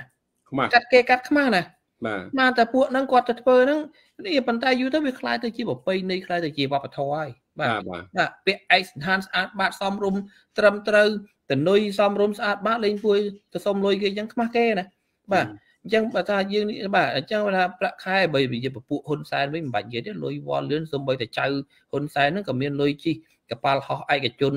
ជួលកប៉ាល់ហោះឲ្យទាំងមូលដឹកសង្សារទិញកាបូបតម្លៃរាប់ម៉ឺនដុល្លារគិតមើលទៅពួកហ្នឹងរកស៊ីអីបានលុយមកពីណាបាទហ៊ុនសែននឹងបានលុយមកពីណាប្រាក់ខែហ៊ុនសែនប្រហែលបាទយើងសួរអញ្ចឹងបាទបាទឥឡូវអរគុណយើងចប់ការប្រតិកម្មទៅនឹងបាទសុខសុក្រិតជានឹងប៉ុណ្ណឹង បាទគាត់ផ្ដាំផ្ញើបងប្អូននៅក្នុងប្រទេសថៃ គឺថាត្រូវការពារខ្លួនផងដែរយើងដឹងថាវាកំពុងតែមានសត្វដេរឆាននៅក្នុងនោះហើយនៅនោះហើយយើងត្រូវតែនាំគ្នាការពារខ្លួនត្រូវដើរមកណាទៅណានឹងឲ្យមានគ្នា3ទៅ4ទៅ5នាក់អញ្ចឹងទៅបាទយើងកុំដើរដាច់ដាច់បែកដាច់ពួកអីពីព្រោះឥឡូវហ្នឹងវាមិនតន់ចេញពីថៃទេហើយហ្នឹងហើយបាទ អាហ្នឹងគាត់ជាការមួយប្រការការពារសិនទេណាបងប្អូនណាបាទមិនមែនឲ្យបងប្អូនអីភ័យខ្លាចអីទេអាហ្នឹងដើម្បីសុខភាពមួយមួយរយៈសិនណាបងប្អូនណាអញ្ចឹងថែរក្សាបាទបាទនឹងប្រតិកម្មទៅប៉ុណ្ណឹងហើយឲ្យវាប្រជប់ទៅប៉ុណ្ណឹងទៅអាសុខក្រចាហ្នឹងបាទហើយឥឡូវខ្ញុំសូមបន្តមួយទៀតខ្ញុំប្រតិកម្មទៅមួយទៀតគឺអាពីលចុងភូមិបាទអាពីលចុងភូមិដូចមុនហ្នឹងសម្ដេចតេជោឡុងហ្នឹងបានបកស្រាយ ប្លត់ស្បែកម្ដងហើយបាទអាពីលចុងភូមិហ្នឹងបាទដែលរស់នៅសហរដ្ឋអាមេរិកប៉ុន្តែវាភ្លើម្ចាស់ពីលវាអត់ដឹងអីណាបងប្អូនបាទខ្ញុំចាក់វីដេអូឲ្យបងប្អូនបានស្ដាប់តិចទៅមុនហ្នឹងសម្ដេចតេជោឡុងហ្នឹងអត់មានវីដេអូទេទៅតាមឡានហ្នឹងបាទឥឡូវខ្ញុំចាក់ថាហេតុអីបានជាវាប្រើភាសាហ្នឹងហើយវារស់នៅលើទឹកដីប្រជាធិបតេយ្យ វារស់នៅលើដីបៃតាប្រជាធិបតេយ្យហើយកូនចៅរស់បានធំធាត់នៅលើទឹកដីសហរដ្ឋអាមេរិកវាបែរទៅជាប្រមាថសហរដ្ឋអាមេរិកបាទខ្ញុំផ្ញើផ្ញើ link ឲ្យបងសច្ចៈតិចបងបាទបែបផ្ញើ link ឲ្យបងសច្ចៈតិចបានទេអឺ link នៅក្នុង group សម្ដេចអូខេបាទ link នៅក្នុង group អញ្ចឹងខ្ញុំចាក់សម្ដីបាទអ្វីដែលបាទអាពេលចុងភូមិបងប្អូនស្គាល់ណាបាទឥឡូវស្ដាប់ អ្នកឯងចោតអាអាស្ដាមហ៊ូសេនថាបង្កើតអាវុធប្រឡាយលោកអ្នកឯងលើកតបទៅ អង្គការសហជាតិគេមិនទាន់សម្រេចថាអូខេអ្នកឯងទៅចោះបើអ្នកឯងយកព័ត៌មានច្បាស់ហើយពួកអង្គការសហជាតិគេគិតថានេះជាចោតគេនេះអត់ទាន់មានផុសតាំងអ្នកអត់អ្នកឯងអត់ស្ដាប់ទេអ្នកឯងលើកទៅសម្រាប់អ្នកដឹកនាំគេប៉ះពាល់ខាតបង់អស់ពីបញ្ចប់អាវុធដែរណានេះ ទាំងអស់គ្នាស្ដាប់រឿងសង្គ្រាមអ៊ីរ៉ាក់អ្នកដឹកនាំស្លាប់ស្លាប់ទាំងពូជប្រជាពលរដ្ឋអ៊ីរ៉ាក់ក៏មានស្លាប់ដែរក្នុងសង្គ្រាមពេលនោះមូលហេតុនៃការសង្គ្រាមដោយសហរដ្ឋអាមេរិកចោទថាសាដាមហ៊ូសេននឹងបានលួចលាក់បង្កើតអាវុធប្រឡាយលោកបរមាណូអីចឹងចុះសុំច្បាប់ពីសុំអំសិទ្ធិពីអង្គការសហប្រជាជាតិគេអត់ទាន់ឆ្លើយទេព្រឹទ្ធសភាសម្រាប់អូខេទៅលើកទៅគម្រងចាំចម្លើយទីអង្គការសហប្រជាជាតិដល់ទៅចាប់បានសាដាមហ៊ូសេនបាយអស់មកនឹងអាវុធនៅណាអត់មានឥឡូវអ្នកឯងចោតខ្មែរទៀតចោតកម្ពុជាទៀតរៀមគឺជាកន្លែងមូលដ្ឋានកងទ័ពចិនអ្នកឯងចង់យកមេរៀនដូចសាដាមហ៊ូសេនទៀតកម្ពុជាដឹកនាំដោយដល់លហ៊ុនសែនណាមិនសាដាមហ៊ូសេននេះកុំភ្លើ ឲ្យដឹងខ្លួនអ្នកឯងមានបញ្ហាអីក្នុងពិភពលោកសពហើយនេះអារឿងច្បាំងចាញ់គេអ្នកឯងទៅឈ្នះគេត្រង់ណាខ្លះឈ្នះសង្គ្រាមលោកលើកទី2ដោយសារអាចជប៉ុនវាភ្លើទៅមានពីរគ្រាប់នឹងទម្លាក់ទៅនោះបើអាចជប៉ុនវានៅបន្តទេអាចជប៉ុនឈ្នះណាឯងអ្នកឯងមាននិស័យដាក់គេទៀតអត់មានផងប៉ុន្តែឯងគម្រាមអញ្ចឹងដើរគម្រាមអញ្ចឹងអាចជប៉ុននោះវាលើកើកាលនោះអើសញ្ញាចាញ់សញ្ញាចាញ់នោះហោសុំសុំលោកអាមេរិកកុំទម្លាក់ទៀតមានអីទម្លាក់ទៀតអស់ហើយហ្នឹង ហ្នឹងហើយបងប្អូនបានស្ដាប់នៅសម្ដីអាពាចុងភូមិគេថាជប៉ុនលើគឺដឹងជប៉ុនលើគឺឬមួយក៏អាពាចុងភូមិឯងលើគឺគាត់និយាយមកវាដូចជាវានឹងវាគ្មានដឹងវាគ្មានតាមដានព្រឹត្តិការណ៍ឯនឹងទាំងអស់បាទដែលវានិយាយមកទម្លាក់កំហុសមកលើសហរដ្ឋអាមេរិកទាំងខ្លួនឯងនឹងកំពុងនៅនៅលើសហរដ្ឋអាមេរិកបើសិនជាវានៅចិនមិនថាទេថ្ងៃនេះបើសិនជាអាពេលចុងភូមិនៅចិនវានៅ បាទវានៅយួននេះមិនថាទេឥឡូវហ្នឹងវានៅនឹងនៅសហរដ្ឋអាមេរិកជាមួយខ្ញុំនឹងដែរបាទវានៅសហរដ្ឋអាមេរិកនឹងជាមួយខ្ញុំដែរហើយវាទៅនិយាយអញ្ចឹងអញ្ចឹងបងប្អូនវានិយាយវាវាអត់ដឹងព្រឹត្តិការណ៍ដែលគេណាគេគេចាប់ស្ដាមហ៊ូសេនណាដោយសារអីដោយសារអីវាអត់អត់អត់ដឹងនេះសាវតានៅរឿងហ្នឹងសម្ដេចតលេបាទនេះវាមកវាមូលបកាច់ទម្លាក់កំហុសទៅលើសហរដ្ឋអាមេរិកណា វាធ្លាប់ពីមុនវាហៅហ៊ុនសែនថាអាម៉ុកអាម៉ុកអាម៉ុកហ៊ុនសែនអាម៉ុកឥឡូវនេះវាហៅសលោកពេលខ្លះវាហៅសម្ដេចផងណាអានេះវាទៅប្រហែលដងទៅហើយហ៊ុនសែនសរសើរអីបានដល់ឥឡូវសលោកសសម្ដេចបាទឥឡូវនេះវាឃើញវាផ្ទុយវាផ្ទុយណាអញ្ចឹងអានេះវាជាការប្រមាថមួយខ្លួនឯងកូនខ្លួនឯងចៅខ្លួនឯង រៀនសូត្របានចេះដឹងជ្រៅជ្រះនៅលើទឹកដីសហរដ្ឋអាមេរិកបែរទៅជាប្រមាថសហរដ្ឋអាមេរិកហើយ see welfare see អីសហរដ្ឋអាមេរិក see Medicare អីសហរដ្ឋអាមេរិកនៅឯងទៅមើងងាយទៅប្រមាថសហរដ្ឋអាមេរិកយ៉ាអីបាទថាគឺអឺខ្ញុំចង់ជម្រាបបងប្អូនទៅពាន់ទៅនឹងការចោតប្រកាន់របស់តាមកហឺនទៅលើសហរដ្ឋអាមេរិកបាទខ្ញុំស្ដាយ ដែលដែលតាហ្នឹងគាត់មកនៅរស់លុយរស់នៅស៊ីលុយ welfare របស់អាមេរិកបាទប៉ុន្តែបែរជាវាយប្រហារអាមេរិកគ្រប់គ្រងជនភេរវកម្មបច្ចុប្បន្នកំពុងតែគ្រប់គ្រងពួកកុម្មុយនីសផ្ដាច់ការដែលមានចិននៅពីក្រោយទៅទៀតបាទបាទបាទហើយសម្ដេចសច្ចៈមួយគាត់បាទនៅកន្លែងហ្នឹងហើយបាទឲ្យបងសច្ចៈគាត់រៀបចំកាមេរ៉ាអឺរឿងមូលហេតុអំពីសាដាមហ៊ូសេនមិនមែនគេអាមេរិក ដកគាត់ឬមួយក៏លូកលាន់ពាក់ព័ន្ធនឹងសាដាមហ៊ូសេននឹងដោយសារតែរឿងប៉ារ៉ាវ៉ាណូទេវាមានការស្រាវជ្រាវមួយគេសង្ស័យថាសាដាមហ៊ូសេននឹងលួចផលិតអាវុធនុយក្លេអ៊ែរដូច្នេះគេឲ្យសាដាមហ៊ូសេននឹងធ្វើការសហការជំរាបសួរបងបាទអឺគេឲ្យសាដាមហ៊ូសេននឹងសហការអឺបើកឲ្យគេចូលទៅមើលត្រួតពិនិត្យអ្វីដែលគេសង្ស័យគឺគាត់បដិសេធអត់ព្រមបើកហើយរឿងមួយទៀតសំខាន់ ដែលដែលធ្វើឲ្យគេស្លាប់សាដាមហ៊ូសេនហ្នឹងគឺមិនមែនអាមេរិកទេគឺកងកម្លាំងដែលឡើងមកកាន់អំណាចបន្ទាប់ពីសាដាមហ៊ូសេនរបបសាដាមហ៊ូសេនដួលរលំទៅហ្នឹងគឺសាដាមហ៊ូសេនហ្នឹងគឺបានសម្លាប់ជនជាតិខឺតបាទជនជាតិខឺតចំនួន148នាក់នៅក្នុងទីក្រុងឌុយចៃនៅក្នុងឆ្នាំ1982ឃើញទេបាទបាទតាំងពីឆ្នាំ1982ក្រតកម្មរបស់សាដាមហ៊ូសេនហ្នឹងគេអត់គេអត់គេអត់ លុបចោលទេណាបាទអញ្ចឹងទោសរបស់គាត់ដែលសម្លាប់ជនជាតិខឺតដល់ទៅចំនួន148នាក់ហ្នឹងគឺសម្រាប់ច្បាប់នៅក្នុងប្រទេសអ៊ីរ៉ាក់ ដែលដែលដែលមានមេដឹកនាំថ្មីឡើងមកនោះគឺគេកាត់ទោសសាដាមហ៊ូសេនប្រហារជីវិតដោយព្យួរកបាទព្យួរកហើយបាទហើយរឿងសាដាមហ៊ូសេននេះគឺជាប់ពាក់ព័ន្ធជាមួយនឹងក្រុមភេរវកដែលរៀបចំឲ្យមានការវាយប្រហារព្រឹត្តិការណ៍9អឺ9ថ្ងៃទី11ខែ9បាទ11ខែបាទបាទបាទបាទ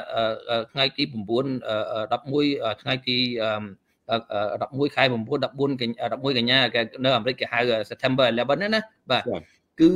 សាដាមហ៊ូសេននឹងគាត់ជាប់ពាក់ព័ន្ធជាមួយនឹងក្រុមភេរវកទាំងអស់ហ្នឹងហើយអាមេរិកគឺគេត្រូវតែការពារស្វ័យភាពរបស់គេគឺអ្នកណាដែលមានការពាក់ព័ន្ធវាយប្រហារអាមេរិកធ្វើឲ្យជនជាតិអាមេរិកបាត់បង់ជីវិតបាទគឺគេត្រូវតែតាមយកជននោះមកផ្ដន់ទាទោសតាមច្បាប់ហើយបាទ ដូច្នេះសូមឲ្យតាមមកហើនឹងធ្វើការស្រាវជ្រាវកុំចេះតែសួរតពីតពីបាទសួររបៀបខ្ញុំមិនចង់ប្រើភាសាអីនេះទេព្រោះគាត់គាត់ចាស់ដែរប៉ុន្តែគាត់ចាស់ដែរប៉ុន្តែទូថាបាទឲ្យបងប្អូនវាតម្លៃខ្លួនឯងទៅហើយបាទអ្វីដែលគាត់ធ្វើហ្នឹងគឺរស់នៅក្នុងប្រទេសអាមេរិកស៊ីលុយ welfare ស៊ីលុយរដ្ឋាភិបាលអាមេរិកជួយឧបត្ថម្ភបាទហើយបែរទៅជានិយាយ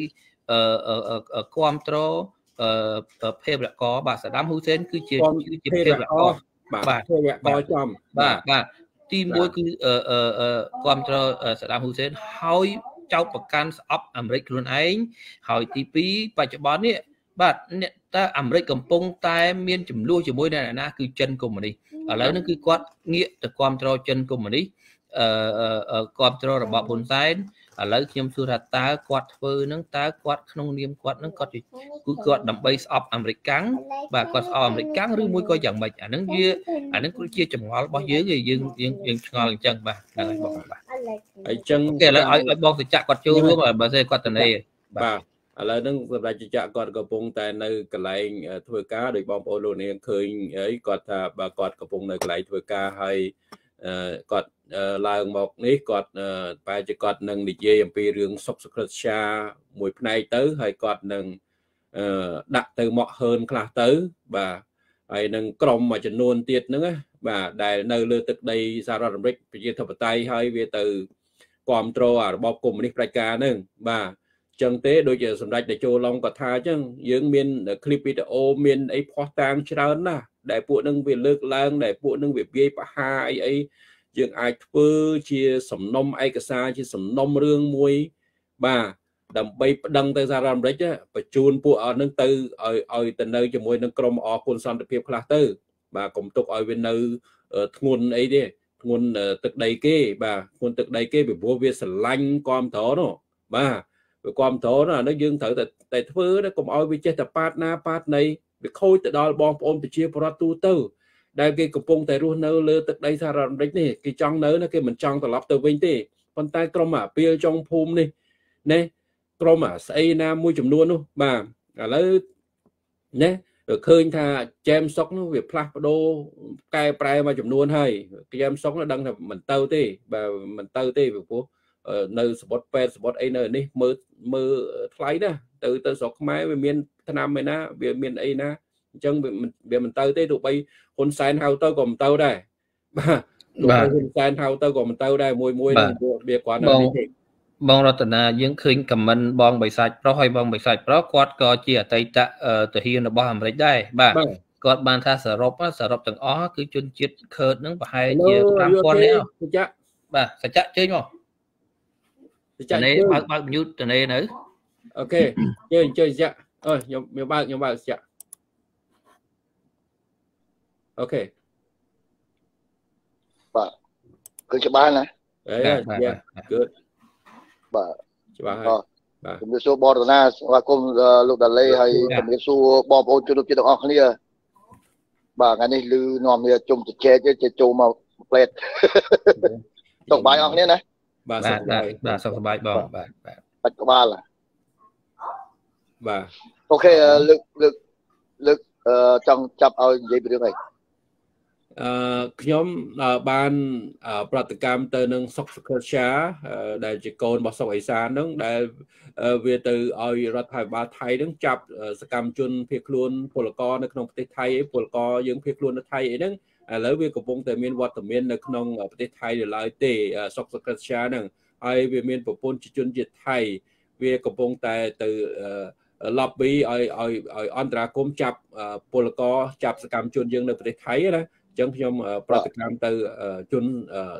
សុកសក្រិស្យានេះហើយបងអូនសច្ចៈមានព័ត៌មានអីពីសុកសក្រិស្យានេះបងអូនសច្ចៈបានដឹងច្បាស់ធ្លាប់ហើយប្រឡូកការងារអីជាមួយគ្នាណាហើយបាទសុខទេបាទអឺរឿងរ៉ាវពាក់ព័ន្ធនឹងរឿងហ្នឹងអឺខ្ញុំចង់ជម្រាបប្រាប់បងប្អូនផងដែរថាវាវាសហការគ្នាជាមួយនឹងក្រមក្រិតជនបាទក្រមគិតកោ បាទហើយក្រមគិតកោនោះដូចបងប្អូនតែងតែដឹងមុខសញ្ញាហើយជាមួយទីមួយក្រមអឺសម្រាប់លោកបណ្ឌិតកែមលីដែលជាមុខសញ្ញាច្បាស់គឺហងវិទូគឺអាវិទូបាទបាទបាទអាហ្នឹងហើយអាវិទូហ្នឹងវាមានអាហ្នឹងកងបន្ទូបាទកងបន្ទូបាទបាទហើយមួយទៀតវាមានបងប្អូនវាមួយទៀតដែលទៅថៃហ្នឹង ដែលទៅថៃដែលទៅតាមវាយចំផាតទៅរកតាមចាប់ចំផាតហ្នឹងដែលយើងប្រហោះប្រងព្រាតដែលវាច្រៀងស្អីទៅអាហ្នឹងបងប្អូនចរូនមួយវាអឺខ្ញុំមានលោកធ្លាប់តែខ្ញុំស្គូរអត់ឃើញខ្ញុំថាបងផ្ញើទៅឲ្យលោកតាលេមើលដែរបាទបាទបាទហើយអាមួយម៉ែទៅថៃហ្នឹងម៉ែវាហ្នឹង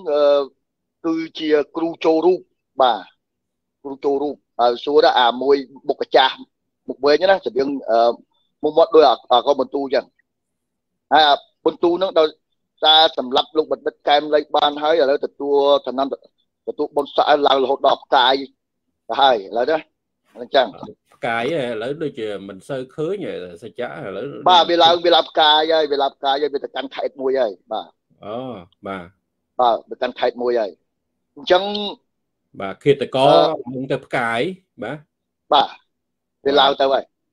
ហើយយើងគិតថាហ៊ុនសែនយកវាស៊ីប៉ុន្តែអានេះវាអត់ខុសពីពុនភាពទេតែវាឡើងផ្កាយគេរុញវាទៅហើយដល់យកវាមកដាក់មិនដល់លោកខែទេអានេះដល់ដល់ផ្កាយហើយចុះមកវិញតាមមើលបាទអាហ្នឹងអាហ្នឹងវាទៅសហការគ្នាចឹងហើយនិយាយពាក់ព័ន្ធជាមួយនឹងអាយ៉ានោះណាអាសុខអាសុខអាសុខសុក្រិយាកូនផងបាទតាសុខសាទបាទអាហ្នឹងពីដើមក៏វានៅខ្មែរដែរហើយវាមានបទឧក្រិដ្ឋពាក់ព័ន្ធជាមួយនឹងអឺ បទមនុស្សឃាតសម្រាប់ជនជាតិអូស្ត្រាលីនៅ បាទហើយវារត់ទៅកិច្ចនៅតែប្រទេសថៃអាហ្នឹងណាវ៉ាវបាទវារត់ទៅភៀសខ្លួនទៅនៅប្រទេសថៃតាំងពីជំនាន់អឺអឺនេះមុនយមមុនខ្ញុំមកមកទៀតហ៎បាទហើយវារៀននៅប្រទេសថៃហ្នឹងវារៀនចប់អឺអានោះបណ្ឌិតអឺបណ្ឌិតវិទ្យាសាស្ត្រនយោបាយ បាទបណ្ឌិតអាណាអាណាបាទហើយបានវាបានធ្វើដំណើរមកសហរដ្ឋអាមេរិកនេះអាហ្នឹងបាទបាទគឺដំណើរមកសហរដ្ឋអាមេរិកនេះវាមានប្អូនស្រីវាមួយឈ្មោះជីណាហ្នឹងមានបានយកប្តីជាអ្នករស់ស៊ី Chinese food បាទជាអ្នករស់រស់ស៊ី Chinese food ហើយអានេះវាមកទៅវាដើរតែធ្វើការឲ្យគេដែរទេវាវាចាយលុយតាលុយឪវាតាតាសុកអេសានផ្ញើលុយមកឲ្យវាទេ បាទឥឡូវវាចឹងណាបាទហើយវាមកដល់នេះក៏វារាប់អានគ្នាជាមួយខ្ញុំជាពូម៉ាក់ដែរអាហ្នឹងក៏មានបោកដែរវាបោកខ្ញុំវាធ្លាប់បោកខ្ញុំដែរអូបាទចាប់ទៀតបាទវាធ្លាប់បោកខ្ញុំចិត្តទេវាបោកវាឲ្យខ្ញុំមកធ្វើការជាមួយទៅវាសិតចែកប៉ឺសិនចែកភាគរយឲ្យខ្ញុំចឹងណាបាទអាឯងនេះឮតែភាគរយខំប្រឹងធ្វើការក្លែកក្លែកក្លែកក្លែកទៅបាទនោះវាគិតតែដល់វាគិតតែទៅលេងលបែកអស់លុយទៅថ្ងៃណាក៏ទៅអូនទៅខាតដែរហើយអាខ្ញុំនេះវ័នកកនឹងនឹងហាង ចាញ់លបែងមកបោកមកបោកអឺមកបោកគេតតបាទហើយហាងហ្នឹងវាចេះហាងហ្នឹងផងប្អូនថ្លៃវាទេណា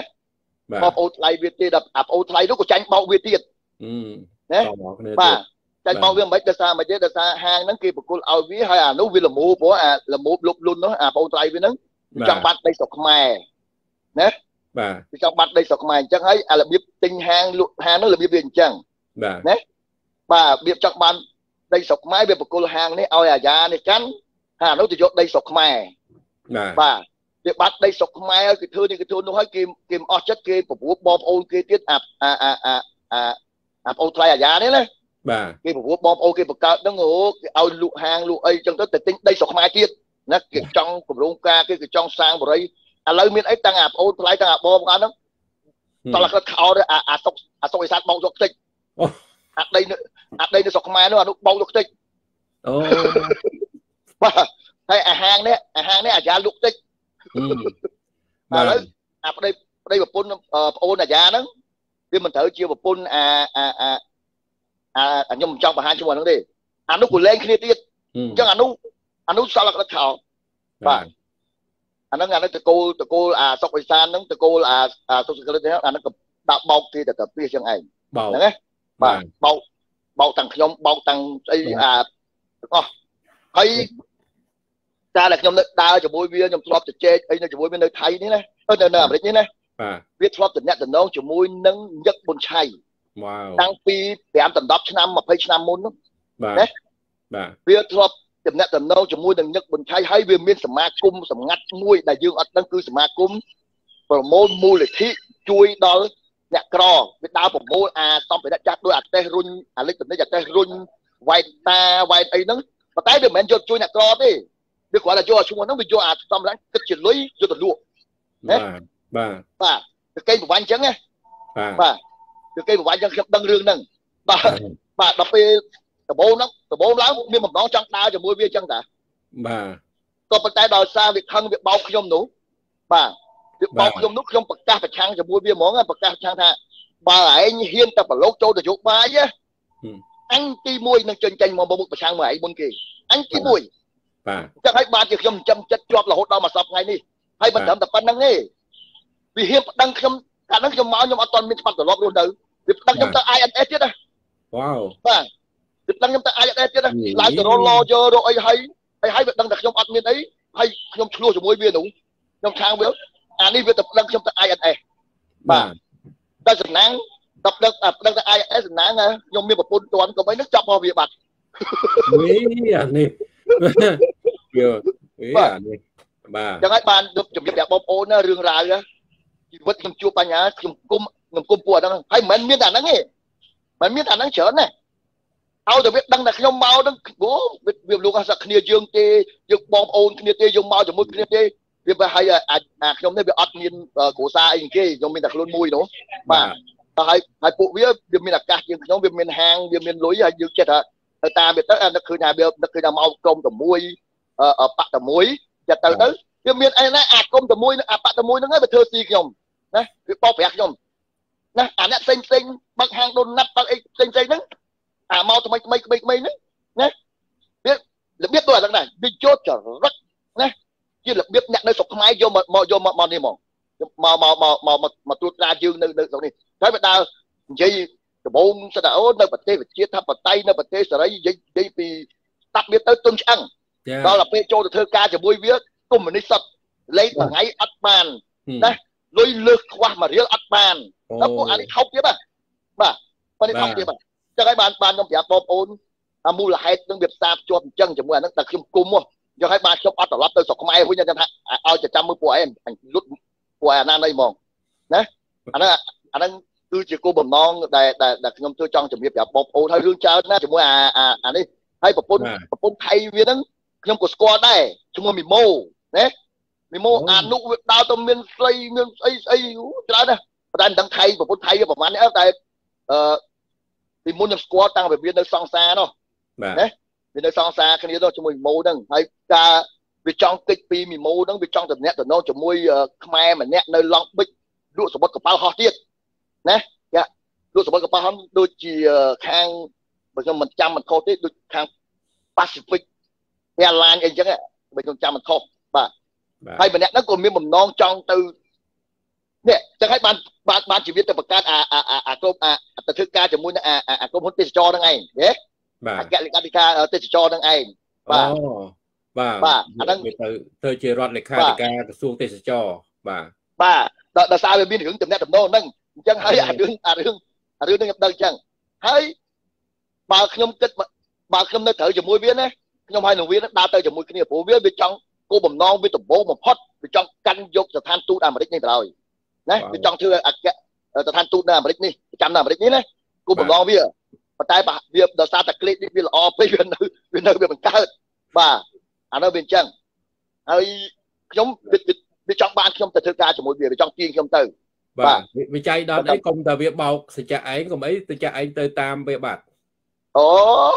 ងាប់បាត់តែខ្មែរតែខ្ញុំទៅតែខ្ញុំទៅម្នាក់ទៀតងាប់បណ្ដោយគឺវាអង្គើកាងហើយមួយសច្ចៈផងបងប្អូនបាទណាងហើយបាទសច្ចៈគាត់ បាទអាអានោះអត់អានោះសុំបីតែនៅអាមេរិកនេះណាក៏ហ៊ានខ្ញុំស្លុតទៀតណាខ្ញុំស្លុតទៀតអាយ៉ានោះបាទបាទក៏ហ៊ានមកខ្ញុំទេពួកម៉ាក់វាមកនិយាយជាមួយវាសឹងតែថ្វាយគុំដូចអាហ៊ុនម៉ាណែតចឹងបាទមានពួកម៉ាក់វាប្រហែលនេះមានពួកម៉ាក់វាប្រហែលនេះកាលនោះវាអត់ស្គាល់ខ្ញុំទេអាពួកម៉ាក់វាមានតែអាយ៉ាហ្នឹងគេស្គាល់ខ្ញុំគេស្គាល់ដល់ឪខ្ញុំទៀតហ៎អាយ៉ានេះនោះបាទបាទគេស្គាល់ដល់ឪខ្ញុំទៀតហ៎បាទឪវាហ្នឹងក៏ស្គាល់ឪខ្ញុំដែរអាខ្ញុំបើខ្ញុំចង់និយាយបាទ វាពួកពួកម៉ាក់វាដឹងមកយើងវាមកវាវាមកជជែកគ្នាជាមួយអាចារ្យហ្នឹងហើយអាចារ្យហ្នឹងវាហៅខ្ញុំទៅអង្គុយជាមួយហើយនៅក្នុងពេលហ្នឹងខ្ញុំជាអ្នកធ្វើការឲ្យអាចារ្យហ្នឹងជាអ្នកឆាមហូបឲ្យវានោះជាអ្នកឆៃពូទៅបាទឆាមហូបឲ្យវាហើយអាចារ្យវាហៅខ្ញុំទៅអង្គុយហើយដល់ពេលពួកអានោះវាមកគឺថាទូនាទីឋានៈខ្ញុំត្រឹមតែជាអ្នកឆាមហូបវាឆ្ងល់ថាហេតុអីបាទជាខ្ញុំអាចមានសិទ្ធិអង្គុយជាមួយនឹងអាយ៉ាហ្នឹងហើយដល់ពេលហើយគេនិយាយថាអូអឺអឺអឺសច្ចៈឈ្មោះខ្ញុំគេហៅឈ្មោះធឿនណានឹងឯងសំណាងណា មានឱកាសដែលយ៉ាហៅមកអង្គុយដែលយ៉ាហៅមកអង្គុយជាមួយដល់ពេលយ៉ាអាយ៉ាហ្នឹងគេប្រាប់ថាណែគឺនឹងមិនមែនធម្មតាទេណាឪគេក៏ដំសនីមួយដែរណាអានោះបើផ្ដេចលឹកលឹកលឹកលឹកលឹកណាឪគេអត់ចប់និយាយមកដល់កាលហ្នឹងឪអាសុកសក្តិយាហ្នឹងគាត់គឺឯអាដាមមែនប៉ុន្តែឯអាដាមនៅក្រសួងព័ត៌មានណានៅសង្កាត់ក្រសួងព័ត៌មានបាទបាទសុកអេសានហ្នឹង បាននិយាយអំពីទួលនីតិឋានៈវិញវាចង់ទៅជាឪខ្ញុំទៅទៀតវាគាត់បាននៅក្នុងជួបគណៈបកប្រជាជនណាព្រោះឪខ្ញុំបលិសបាទបាទអានោះទៅក្របនៅក្រៅក្របខណ្ឌទេណានៅក្រៅក្របខណ្ឌទេបាទអញ្ចឹងបានបានបានថាបាទខ្ញុំថាយ៉ាគេទទួលស្គាល់ខ្ញុំចង់ជិះខ្ញុំទៅជាមួយបាទប៉ុន្តែដោយសារតែវាមានរឿងបញ្ហាហ្នឹងខ្ញុំនេះមកពួកខ្ញុំមិនខ្ញុំអត់ចូលចិត្តទេខ្ញុំស្អប់អារឿងបោកប្រាស់ខ្ញុំអារឿងគេបំបញ្ញខ្ញុំអារឿងខ្ញុំខ្ញុំគុំអាហ្នឹង តាំងពីនឹងមកអឺជួបខ្ញុំម្ដងទៀតជួបម្ដងខ្ញុំម្ដងទៀតខ្ញុំនៅមានបញ្ហាអូគេខំអឺធឿនឥឡូវហ្នឹងមិនទៅទៅមកឥឡូវចង់ធ្វើការនេះខ្ញុំរកការងារឲ្យធ្វើខ្ញុំគាត់ថាឯងបាច់ទីអញទេបើតែខ្ញុំចេះអឺអើមកវាទៅក្នុងចិត្តខ្ញុំថាឯងបាច់ទីអញទេហើយអត់រួចខ្លួនទេខ្ញុំប្រាប់ទៅអានោះអានោះពាក់ព័ន្ធជាមួយនឹងរឿងហ្នឹងបាទនិយាយតែប៉ុណ្្នឹងចោះបាទបាទហើយគាត់ថាឲ្យបងប្អូនប្រយ័ត្នរឿងវារៀបចំដូចអាកងវិទូ គឺពិតណាស់គឺជាគិតកោសម្រាប់បាទកងបន្ទូគឺជាគិតកោសម្រាប់លោកបណ្ឌិតកែមលីខ្ញុំទទួលបានព័ត៌មានច្បាស់ហើយបាទអាហ្នឹងហើយបងប្អូនចដូនមួយវាអាមួយអាខ្មៅមួយមុខឬជ្រួញនៅកញ្ចាស់ហ្នឹងណាដែលតាមទៅបាយហ្នឹងបាទខ្ញុំចាំឈ្មោះវាតែឥឡូវខ្ញុំភ្លេចឈ្មោះវាគឺជាបងប្អូនចដូនមួយសិទ្ធិកុំគិតកោដូចគ្នាសិទ្ធិកុំគិតកោដូចគ្នាបាទហើយវាទាំងសហការគ្នាជាមួយអាយ៉ានៅថៃហ្នឹងឯងដើម្បីទៅអឺអឺអឺអឺទៅកំតិចអ្នកនៅថៃហ្នឹងឯង អញ្ចឹងបងប្អូនត្រូវតែប្រយ័ត្នបាទត្រូវតែប្រយ័ត្នបាទហើយអាហ្នឹងឲ្យបងប្អូនប្រយ័ត្នតែប៉ុណ្ណោះព្រោះទៅមានរឿងដោះស្រាយទៀតឥឡូវពាក់ព័ន្ធជាមួយនៅគាត់ប្រយ័ត្នអស់លទ្ធភាពអីបងអូនសច្ចៈយើងឃើញថាគាត់ឥឡូវហ្នឹងគាត់បងប្អូនយើងណាពេលក្រោយពីព្រឹត្តិការណ៍វាចាប់4នាក់ទៅជាប់ពន្ធនាគារនៅក្នុងស្រុកខ្មែរមកគាត់ដូចជាកិច្ចខ្លួនសង្ងំទាំងអស់គ្នាមួយរយៈសិនណាដូចបានបងប្អូនយើងបាត់បានឃើញហើយព័ត៌មានដែលបងប្អូនយើងណាយើង ការពារសវត្ថភាពសិនណាសម្រាប់សច្ចៈមមតែអង្គការអីអីគេដោះស្រាយជាមួយប្រទេសថៃឲ្យមានអន្តរាគមណាមួយឈប់ឲ្យមានការចាប់អីអីជនភៀសខ្លួននយោបាយពលករអីក្នុងប្រទេសកម្ពុជាកុំឲ្យរដ្ឋាភិបាលមួយមកធ្វើអញ្ចឹងយើងវាវាមិនសមទេណាដែលធ្វើអញ្ចឹងតើតែមានដំណោះស្រាយនឹងមួយបានជាយើងមានសវត្ថភាពខ្ពស់សម្រាប់សច្ចៈបាទ បាទវាជារឿងដែលឲ្យសំខាន់មុននឹងជាតិដល់ហ្នឹងបងប្អូនដូចយើងធ្លាប់ប្រកាសតាំងពីដំបូងតាំងពីគេបាយចុងផាតហ្នឹងណាបាទបាទឲ្យគាត់នឹងនាំគ្នាចងក្រងជាគុំគុំប្រហែសការធ្វើដំណើរដើរហើរតែឯងអត់តោះហើយបើសិនជាអាចយ៉ាងម៉េចយ៉ាងម៉េចយើងត្រូវរស់នៅរកន្លែងរស់នៅធ្វើម៉េចឲ្យបាននៅចិត្តប្រជុំគ្នាប្រស័យតាក់ទងគ្នាមកពីបន្ទប់ឲ្យបានពីរនាក់អីចឹងទៅអាហ្នឹងអាហ្នឹងអាហ្នឹងជាជា ជំហានទី1ដើម្បីឲ្យមានរឿងអីដឹងរឿងយើងឆាប់ដឹងបាទហើយយើងចងក្រងគ្នាជាក្រុមរអឺខ្ញុំបើតាមខ្ញុំដឹងនៅហ្នឹងក៏មានអឺអ្នកដែលទទួលខុសត្រូវពាក់ព័ន្ធជាមួយនឹងគណៈបកសង្គ្រោះជាតិពាក់ព័ន្ធជាមួយនឹងអ្នករោគជនភៀសខ្លួនអីមកកណោដែរដូចជាហេតុអីបានទៅជាបដោយឲ្យពួកអស់ហ្នឹងវាទៅចាក់រុកបុកអឺទុកជាមួយនឹងជនអឺអញ្ញាធរថៃអាចចាប់ពួកហ្នឹងទៅទៅ វិញអាហ្នឹងវាអញ្ចឹងណាបាទនឹងយើងបានធ្វើការងារនឹងជាមួយ UNHCR អីអីគណៈបកសង្គ្រោះជាតិក៏ដូចជាជាមួយនឹងប្រទេសថៃអីណាបាទប៉ុន្តែហ៊ុនសែនដឹងស្រាប់ហើយរបបវាតែប៉ុណ្្នឹងវាទទួលវាមានសម្ពាធអីមួយវាឲ្យនេះចឹងដោយអាសុកសក្តិតែបើបើយល់ល្អបើយល់ល្អណាបើតាមមើលអានេះខ្ញុំអត់ដឹងថាជា តាយល់ឃើញថាបងប្អូនយ៉ាងម៉េចទេបើល្អបើជ្រុលតែមានចាប់គ្នាយើងអញ្ចឹងហើយដើរចូលទៅកន្លែងថៃហ្នឹងឲ្យវាចាប់ទៅទាំងអស់បណ្ដោយទៅដើរចូលឲ្យវាចាប់ទៅទាំងអស់បណ្ដោយទៅហើយទៅជួបជុំគ្នានៅក្នុងហ្នឹងបណ្ដោយទៅយេអាហ្នឹងអាហ្នឹងអាហ្នឹងមិនបាច់ចាំសួររឿងហេតុអីទេណាបើយល់នេះដល់បើថាវាបងអាចបងអាចចាប់ម្ដងមួយម្ដងមួយដើម្បីគម្រាមបើថាចាប់ទៅបណ្ដោយទៅណាទៅចូលទៅហ្នឹងចាយចាំជ្រាមនឹងហ្នឹងហើយបើថា ឬដំណឹងព័ត៌មានអាមិនឆាក់តលាគុកនឹងចេញមកបណ្ដោយមកបាទអានេះបាទអានេះខ្ញុំនិយាយប៉ុណ្ណឹងយល់ណាបងប្អូនណាមិនមែនមិនមែនរុញសក្លោបញ្ចូលឡានទេតែបើថាចាប់ឯងម្ដងមួយម្ដងមួយ20 20ឲ្យតែចាប់ឯងក្រោយមិនបាច់ចាំតែដើរឲ្យពួកអានឹងចាប់ទេចាប់ទៅអាកន្លែងដែលថៃវាចាប់យើងហ្នឹងណាចាប់បោះកាតឲ្យវាចាប់បណ្ដោយទៅអាចាប់ទៅឯង100នាក់10000នាក់1000នាក់ឲ្យចាប់បណ្ដោយអញវាខ្ជិលកំពុងរកច្រកចូលផងប្រាប់វាអញ្ចឹង បាទបាទបើខ្ញុំបើខ្ញុំវិញខ្ញុំតាមចាប់អានេះវិញបើខ្ញុំវិញបាទតាមតាមចាប់អានឹងវិញបើសិនតែខ្ញុំវិញបាទបាទបាទអេវាវាវាវាការពិតបើយើងវាអាចឈានដល់ប៉ុណ្ណឹងប៉ុន្តែតែនេះគេហៅថាឌឺទៅឌឺមកបាទរុញរុញបដោយទៅបដោយតាមដំណើរបដោយទៅណារោមីមីណាធំធំចាំទៅពឹបមកទៅចូលជាមួយនឹង ប៉ាអាវិលៀងទៅទៅចូលមួយប៉ាអាពេជ្រឆ្លោះទៅបាទហើយនាំគ្នាធ្វើប្រោមកបោវាយហ៊ុនសែនវិញទៅអានេះខ្ញុំនិយាយលេងសើចទេបងប្អូនណាបាទហ្នឹងហើយបាទបាទហើយពាក់ព័ន្ធជាមួយនឹងរឿងជាចុងភូមិបាទបាទអឺអត់ទេឥឡូវចេះទៅខ្ញុំឥឡូវនេះខ្ញុំសភាពឲ្យបងប្អូនខ្ញុំជាអ្នកមានសិលធម៌ម្ដងបាទខ្ញុំអត់ហ៊ានអីអាពី ចុងភូមិអីអាមកងទេព្រោះអីខ្ញុំប្រតកូលខ្ញុំមានពូជបាទមិនមែនមកចេញពីអ្នកគ្វាគូគ្វាកបីណាងាប់បាទហើយបាទបាទហើយសូមថាគាត់ថាលើកដៃសាពះថាបងប្អូនអើយយើងខ្មែរដូចគ្នាបាទណាយើងតែដល់ពេលនិយាយចូលទៅវាអត់ចូលជាតិបាទបាទយើងខ្មែរដូចគ្នាបងប្អូនខ្ញុំមិនចង់ឃើញខ្មែរឆ្លោះគ្នាទេចាស់ក៏ដោយក្មេងក៏ដោយបងប្អូនណា បាទបើថាបើថាយើងអាចមានលទ្ធភាពទៅបើយើងមិនសប្បាយចិត្តនឹងគ្នាយើងពេញចិត្តនឹងគ្នាបាទបើថាដូចឥឡូវហ្នឹងខ្ញុំមានតែមួយយ៉ាងទេយើងបកគោប្រកាសមកបើថាយើងខ្មែរដូចគ្នាបើបានតែ100នាក់មកយើងដេញគាត់ចេញទៅណាដេញគាត់ចេញទៅយើងធ្វើបដកម្មមួយបាទឥឡូវហ្នឹងដូចយើងនិយាយទៅលើហ៊ុនសែនថាហ៊ុនសែនជាចោតសំរងស៊ីក្បត់ជាតិហ៊ុនសែនជាចោតសំរងស៊ីលក់កាត់ដីឲ្យយួន ហ៊ុនសែនជាចោតទៅឲ្យប្រើតឡាការតែតឡាការនៅស្រុកខ្មែរតាមពិត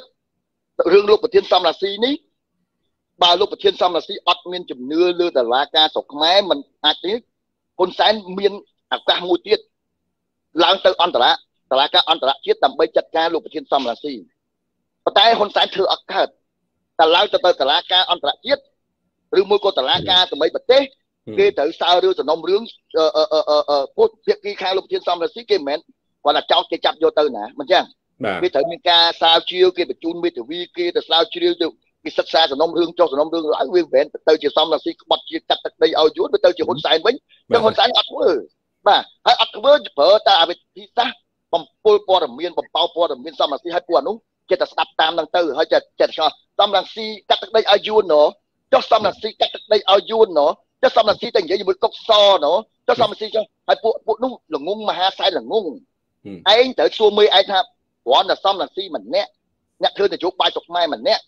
បើសម្ដេចខ្លាំងបើសម្ដេចធ្វើកិច្ចការបរទេសខ្លាំងសម្ដេចឬសម្ដេចចាត់អ្នកច្បាប់ទៅចរចាជាមួយនឹងអន្តរជាតិទៅនេះដើម្បីឲ្យចាត់វិធានការលោកសំរងស៊ីទៅបើសម្ដេចធ្វើមេដឹកនាំមិនក៏មកអាឡែតែមកឆ្លោះជាមួយគេនឹង Facebook មកជជែកមកអីហ្នឹងណាសម្ដេចដូចជាថោកជាពេកហើយដូចជាអន់ពេកហើយ ហើយយល់អញ្ចឹងណា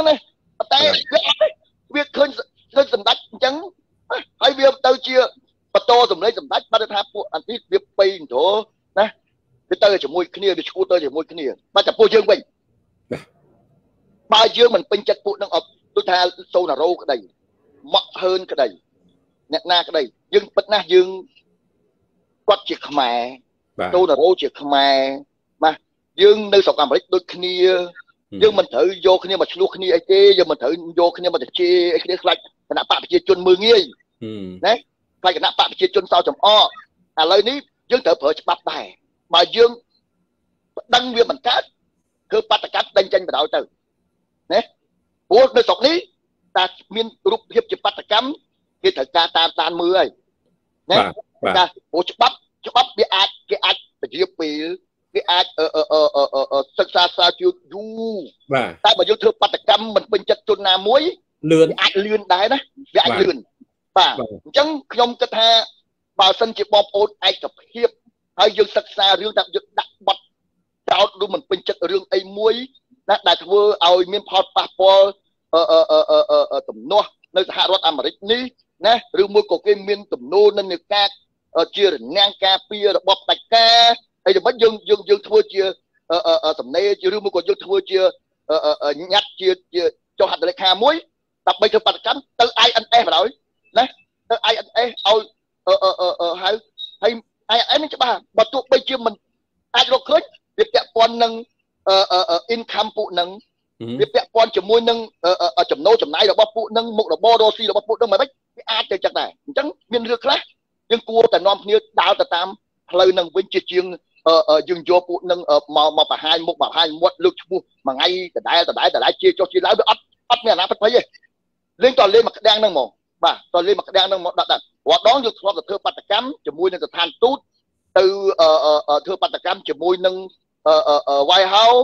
ដើម្បីប្រឆាំងជាមួយនឹងមេដឹកនាំផ្ដាច់ការឥឡូវនេះយើងធ្វើបដកម្មជាមួយនឹងជនណាដែលជាអាចជាចារនារីជាចារៈបរោះជាចារកិច្ច ដែលបំរើឲ្យផលប្រយោជន៍កុម្មុយនីសបំរើផលប្រយោជន៍ជនផ្ដាច់ការយើងយើងយើងយើងធ្វើបដកម្មបដិជននឹងបកមកវាជាជាងបើបើបើបដកម្មណាបើ10នាក់ទៅ20នាក់ទៅ30នាក់ទៅគ្មានដំណោះស្រាយអាមួយហ្នឹងអ្នកហ្នឹងមុខសញ្ញាអាចរងគ្រោះទាំងថ្ងៃអនាគតបើគេមិនចាត់វិធានការគេមិនតាមដានមិនចឹងវាអាចទៅជាអំពើហិង្សយើងធ្វើដោយអហិង្សាតែបើគ្មានដំណោះស្រាយយូរយូរទៅក្នុងនាមជាជនជាតិខ្មែររងរងការឈឺចាប់ ក្នុងនាមជាពលរដ្ឋខ្មែររងរងរងទុក្ខវេទនាណាអាមួយកន្លែងតែគិតរឿងប្រទេសជាតិផងគិតតែបន្តតាំងជាមួយនឹងជនផ្ដាច់ការមកបើពួកនេះចេះតែមកបែបហាវាទៅជារឿងទំនាស់រីករាលដាលអញ្ចឹងអាចខ្លាយទៅជាជំងឺមហារីកមួយនៅអាមេរិកមកចំណែកតូចមួយដែរអញ្ចឹងយើងគួរតែនាំគ្នាឥឡូវបងប្អូនឯកភាពអត់បងខ្ញុំថាបើដល់ដំណាក់កាលថាឥឡូវយើងកំណត់ឈ្មោះថាសូណារ៉ូយើងទៅនាំគ្នាទៅធ្វើបដកម្មប្រឆាំង ស្នើដល់រដ្ឋអាមេរិកកាំងឲ្យបណ្ដេញសូណារ៉ូចេញពីអាមេរិកបាទនៅក្នុងទង្វើបែបនេះយើងមិនពេញចិត្តជននេះណាឥឡូវនេះបងប្អូនឯកភាពអត់ណាឯកភាពឯកភាពអត់បាទខ្ញុំខ្ញុំលើកដៃដែរបាទ ទេខ្ញុំខ្ញុំអត់ឯកភាពទេមិនមកចង់ដេញខ្ញុំចឹងខ្ញុំអត់មានធ្វើអីទេបាទនឹងមកចេះឯងនឹងមកឯងនឹងបើកផ្លូវឈាមហ្នឹងបានយើងយើងយើងធ្វើមកចង់នឹងឯងហ្នឹងដោយសារឯងនឹងបើកអឺអឺអឺអឺអ្វីដែលជាគោចំហមុនគេឧបមាថាសូណារ៉ូនៅនៅអឺអឺអឺតិចសាសាឡេហ្នឹងត្រូវនាំមុខមុនគេអូ ទៅបកប្រកាសខ្មែរនៅកន្លែងហ្នឹងឲ្យធ្វើអត់ទេព្រោះព្រោះឥឡូវនេះត្រូវប្រឆាំងជាមួយនឹងរដ្ឋតិចសាសខ្ញុំនៅកាលីបើខ្មែរនៅតិចសាសមិនធ្វើការតតាំងប្រឆាំងជាមួយនឹងសូណារ៉ូនៅដីតិចសាសទេនៅនៅអាមេរិកខ្ញុំខ្ញុំនឹកដាក់ទេជាមួយអាហ្នឹងអាហ្នឹងជាជាជាជានេះព្រោះដូចដូចពួកនេះចឹងណាណាចឹងត្រូវធ្វើហើយយើងបើសិនទៅដល់សហការហ្នឹងអ្នកនៅកាលីហើយនៅតិចសាសសហការគ្នាត្រូវលុតសូណារ៉ូចេញលុតសូណារ៉ូចេញ ខ្ញុំទៅខ្ញុំទៅទាំងកូលីទៅទាំងតិចសាបាទព្រោះអីយើងត្រូវដល់អត្ថភាពឲ្យម្ចាស់ទឹកដីគេមុនសិនណាព្រោះបើចាត់ទឹកដីគេបើបើបើបើបើបើផ្លូវទៅកើតហើយយើងនឹងចូលរួមយើងនឹងចូលរួមទៅជាមួយនឹងអាហ្នឹងចឹងអញ្ចឹងបើខ្មែរនៅតិចសាសណាមិនសบายចិត្តគៀងគោគ្នាពី5នាក់10នាក់បង្កើតកម្មភាពបដកម្មនៅមួយយើងប្រកាសនឹងចូលរួមចូលជាមួយណាពីគ្រប់ស្តេតនានាអាហ្នឹងអាហ្នឹងចឹង យើងយើងមានមានមានជនអស់ហ្នឹងបាទយើងនៅក្រៅស្ទេយើងទៅបើមានជនហ្នឹងនៅកាលីហ្វ័រញ៉ាខ្ញុំជាអ្នកប្រកាសធ្វើបដកម្មបើឲ្យឲ្យគេឲ្យបងប្អូនមកជាមួយខ្ញុំអាលេងលេងអញ្ចឹងបើហើយយើងគុំគុំគុំគុំកាត់អារូបភាពបាតណាបាតនៃអញ្ចឹងទៅវាដោយអ្នកនេះដោយអ្នកនោះដោយអ្នកនេះដោយអ្នកនោះវាវាចោលប្រកាន់យើងអញ្ចឹងបើមានមុខសញ្ញាមួយមិនស្រួលធ្វើបដកម្មដេញចេញទៅហើយស្នើដល់រដ្ឋអាមេរិកដេញចេញអាហ្នឹងយើងកុំឲ្យគេចោទថាអា2 3នាក់នៅក្នុងមនសិការអា2 3នាក់នៅនេះ លេងយើងលេងក្បួននឹងវិញយើងលេងក្បួននឹងវិញហើយចាំមើលមើលហើយពួកនឹងអឺអឺអឺគេគិតយ៉ាងម៉េចដែរអាហ្នឹងចឹងណាបាទបាទឥឡូវបងប្អូនយល់ល្មិចបើលោកដាលេយល់ល្មិចហើយយល់ល្មិចបាច់តាលេអាចទៅរួចទេយើងធ្វើបាតកម្មឬមួយក៏យើងធ្វើជាបណ្ដឹងទៅ INS អីអីអឺវាសិតតែជាចំណុចល្អដូចបងសច្ចៈគាត់លើកមកហ្នឹងយើងអាចធ្វើជាញ៉ាត់ប្រមូលស្នាមមេដៃប្រមូលសហតលេខាគ្រប់ត្រប្រមូលឲ្យដាក់ឲ្យ2 300នាក់ទៅអាហ្នឹងវាជារឿងល្អបាទខ្ញុំខ្ញុំថារឿងហ្នឹងវាសិតតែជាជំរឿសមួយដែលយើងអាចធ្វើបានតើបាទសម្រាប់ខ្ញុំបាទបាទបាទមានរឿងពួកពួករឿងពួកពួកពួកនឹងបង្កើតបង្កើតទំនាស់បង្កើតការតតាំងចាក់រុកខ្លាំងជាងពួកអ្នកមានសញ្ជាតិពួកអ្នកមានសញ្ជាតិអាហ្នឹងទុកឲ្យគាត់បង្ហាញរឿងផ្សេងអ្នកគ្រប់គ្រងកុម្មុយនី អ្នកគ្រប់គ្រងស្រឡាញ់គណៈបកប្រជាជនអីហ្នឹងអាហ្នឹងអាហ្នឹងរឿងផ្សេងតែពួកអ្នកដែលដែលប្រកបអាលក្ខមុខហ្នឹងអាដើរគ្រូធ្វើត្រឹមត្រូវហ្នឹងដូចប្រភេទសូណារ៉ូហ្នឹងអាហ្នឹងចារកិច្ចចារកម្មខ្លាំងណាស់វាគ្រោះថ្នាក់ដល់អាមេរិកខ្លាំងណាស់ណាគឺបំបីប្រព័ន្ធសេរីបំបីប្រព័ន្ធលទ្ធិប្រជាធិបតេយ្យនៅអាមេរិកនេះនេះអញ្ចឹងយើងត្រូវប្រកាសបើកមុខឲ្យឲ្យឲ្យឲ្យឲ្យឲ្យបានសម្រាប់អាមេរិកយ៉ាងហោចដែរក៏យើងឲ្យអាមេរិកធ្វើការតាមដានបុគ្គលទាំងអស់ហ្នឹងដែរណា គួយតន់ដែរមែនវាច្រើនណាសម្ដេចចាក់នៅអាមេរិកហ្នឹងវាមានវារៀបចំបណ្ដាញច្រើនណាដូចសម្ដេចតេជោឡឥឡូវឥឡូវអ្នកណាចេញមុខអ្នកណាចេញមុខយើងដាក់នៅហ្នឹងយើងធ្វើបរិបទកម្មជាមួយនៅហ្នឹងសូណារ៉ូក៏ដែរអ្នកណាក៏ឲ្យយើងទៅដូចដូចដូចនេះដែរតែបើយើងនិយាយរឿងទាំងអស់ហ្នឹងវាសិតវាសិតតែមានសញ្ជាតិយើងសញ្ជាតិប៉ុន្តែយើងធ្វើនេះធ្វើនៅក្នុងរយៈទូទាយបុគ្គលដែលចេញមុខបរិបទកម្មម្ដងនឹងចេះម្ដងយើងអត់ដឹងថាណាទេណាមិនដឹងជាអ្នកហ្នឹងគុំមិននេះមិនដឹងជាអ្នកហ្នឹងខាងយើង នៅកណ្ដាលអាហ្នឹងវាគ្រោះថ្នាក់ជាងអ្នកដែលមានសញ្ជាតិប្រកាសគ្រប់គ្រងហ៊ុនសែនបាទយល់ទេបាទណាអ្នកដែលគេនៅខាងគណៈបកប្រជាជនដែលមានសញ្ជាតិនោះគេប្រកាសឲ្យថាគេគ្រប់គ្រងគេស្រឡាញ់គ្រាន់តែគេមិនសប្បាយចិត្តគេមិនពេញចិត្តជាមួយយើងតែប៉ុណ្្នឹងទេអាហ្នឹងគេគេគេទទួលស្គាល់ខ្លួនគេអញ្ចឹងហីប៉ុន្តែអាអាពួកអាចារកិច្ចចារកម្មនេះម្ដងគ្រប់គ្រងយើងនិយាយលិះយើងម្ដងនិយាយគ្រប់គ្រងគឹមសខាម្ដងហ៊ុនសែននិយាយឲ្យដងវាយបហាអាមេរិកណាអីចេះចុះអាហ្នឹងវាគ្រោះថ្នាក់ យើងអត់ដឹងថាជាជាជាស្អីពិតប្រកបដល់ពួកអស់ហ្នឹងអញ្ចឹងអញ្ចឹងដល់យើងមើលឃើញរបៀបការមិនស្រួលយើងចាប់ផ្ដើមបើកយុទ្ធនាការហ្នឹងដើម្បីបង្ហាញឲ្យអឺអឺអឺអឺក្រសួងអន្តរប្រវេសន៍សើរើសិក្សាអំពីប្រវត្តិពួកនឹងឡើងមកវិញអំពីពងសាវតាពួកនឹងចេញចូលឬមួយក៏ការរស់ស៊ីចំណូលចំណាយពួកនឹងឡើងមកវិញដើម្បីឲ្យបើថាគេរកឃើញថាវាមិនអីទេមិនមានផលប៉ះពាល់អីទេអាហ្នឹងឲ្យគេតាមដំណើរគេទៅព្រោះយើងធ្វើដោយមតិរួមណា យើងធ្វើដោយមតិរួមយើងអត់មានធ្វើដោយអនុម័តខ្ញុំរតនាបរតនាលោកតាលេតែម្នាក់ពីរនាក់ហ្នឹងទេយើងបកកោយើងធ្វើប្រជាមតិបើសិនជាត្រូវគ្នាឯកភាពគ្នាអាហ្នឹងយើងទៅទាំងអស់គ្នាដាក់ម៉ោងដាក់ពេលទៅបណ្ដោយបាទហើយនៅទីតាំងផ្ទាល់ហ្នឹងបណ្ដោយអញ្ចឹងណាបាទអឺ សម្រាប់តែចូលឡងគាត់គ្រប់គ្រងអឺអ្វីដែលបងអូនសុចៈមានប្រសាសន៍ហ្នឹងគឺបងប្អូនយើងគ្រប់គ្រងគ្រប់គ្រងច្រើនណាស់បាទបាទឃើញសម្ដេចដងគាត់បានខមមិនគ្រប់គ្រងបាទ Kimberly Chong ក៏គ្រប់គ្រងបាទ Hansen បាទបាទហើយបាទឃើញឃើញអ្នកគ្រប់គ្រងច្រើនបាទបង Hill You ឃើញបាទ Lab Johnson ឥឡូវយើងកំណត់ចាប់ពីថ្ងៃនេះទៅបងប្អូនទាំងអ្នកគ្រប់គ្រងក៏ពោតាមដានយើងជួយសិក្សាគ្នា យើងជួយផ្ដល់យោបល់គ្នាយើងចងក្រងជាអឺអឺជាញត្តិមួយជាសំណុំរឿងមួយដើម្បីយើងធ្វើមហាបដកម្មអឺអឺមួយបាទដើម្បីយកបញ្ជូនទៅឲ្យ INS បាទតើមានឈ្មោះប្រមាណដែលបងប្អូនមើលតែចេញមួយញ៉ាំដាក់ security សច្ចៈទៅបាទបាទខ្ញុំខ្ញុំទៅដែរឲ្យតែឲ្យតែមានវិធានការខ្ញុំទៅដែរបាទខ្ញុំទៅដែរខ្ញុំចូលរួមដែរអាហ្នឹងអញ្ចឹងណាបាទមើលសុំប្រពន្ធពីរថ្ងៃទៀតទៅដែរអត់មានមួយទិញសវត្ថក្បាលហោះទៅដែរ អេឲ្យបងចេញឲ្យជឿនយើងគាត់តែមានកំណត់តែបើគឺសម្បត្តិកប៉ោះបងប្អូនចេញឲ្យមកអេល្អតែមានអីយើងធ្វើខ្លះទៅកុំឲ្យវាបកភាពអាណាធិបតេយ្យពេកនៅសហរដ្ឋអាមេរិកណាវាអត់ទេវាល្អដែរបងកុំឲ្យគេមើលឃើញយើងបកកាឡាយទៅយើងជេរគ្នាទៅមានអ្នកខ្លះគេត្រឹមត្រូវអីចឹងទៅគេអត់សប្បាយចិត្តណាឃើញយើងជេរខ្មែរ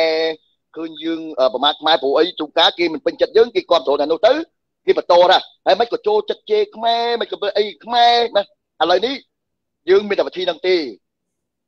បើសកម្មភាពដល់គោលដៅមិននិយាយធ្វើបណ្ដោយអត់អត់អត់អត់អត់អត់ឡាយឡាយអត់វោវោអីដូចឥឡូវទៅទៀតទេដាក់បណ្ដោយបាទអញ្ចឹងបណ្ដោយឥឡូវនឹងខ្ញុំប្រហែលជាពិភាក្សាគ្នារកច្បាប់ណាមួយដើម្បីយើងធ្វើ ពិភាក្សាគ្នាមុនហើយយើងនឹងធ្វើលក្ខណៈផ្លូវច្បាប់ណាមួយ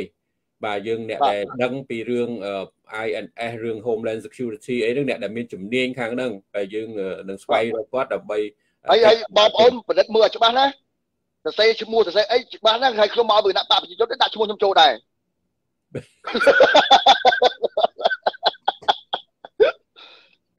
អេខ្ញុំជឿថាបងប្អូនមិនដាក់ទេទោះបីជាយ៉ាងម៉េចក៏បងប្អូនដាក់ដែរមា នបងប្អូនមានជាខ្សែក្រវ៉ាត់ចងខ្ញុំជាប់ទុកហ្នឹង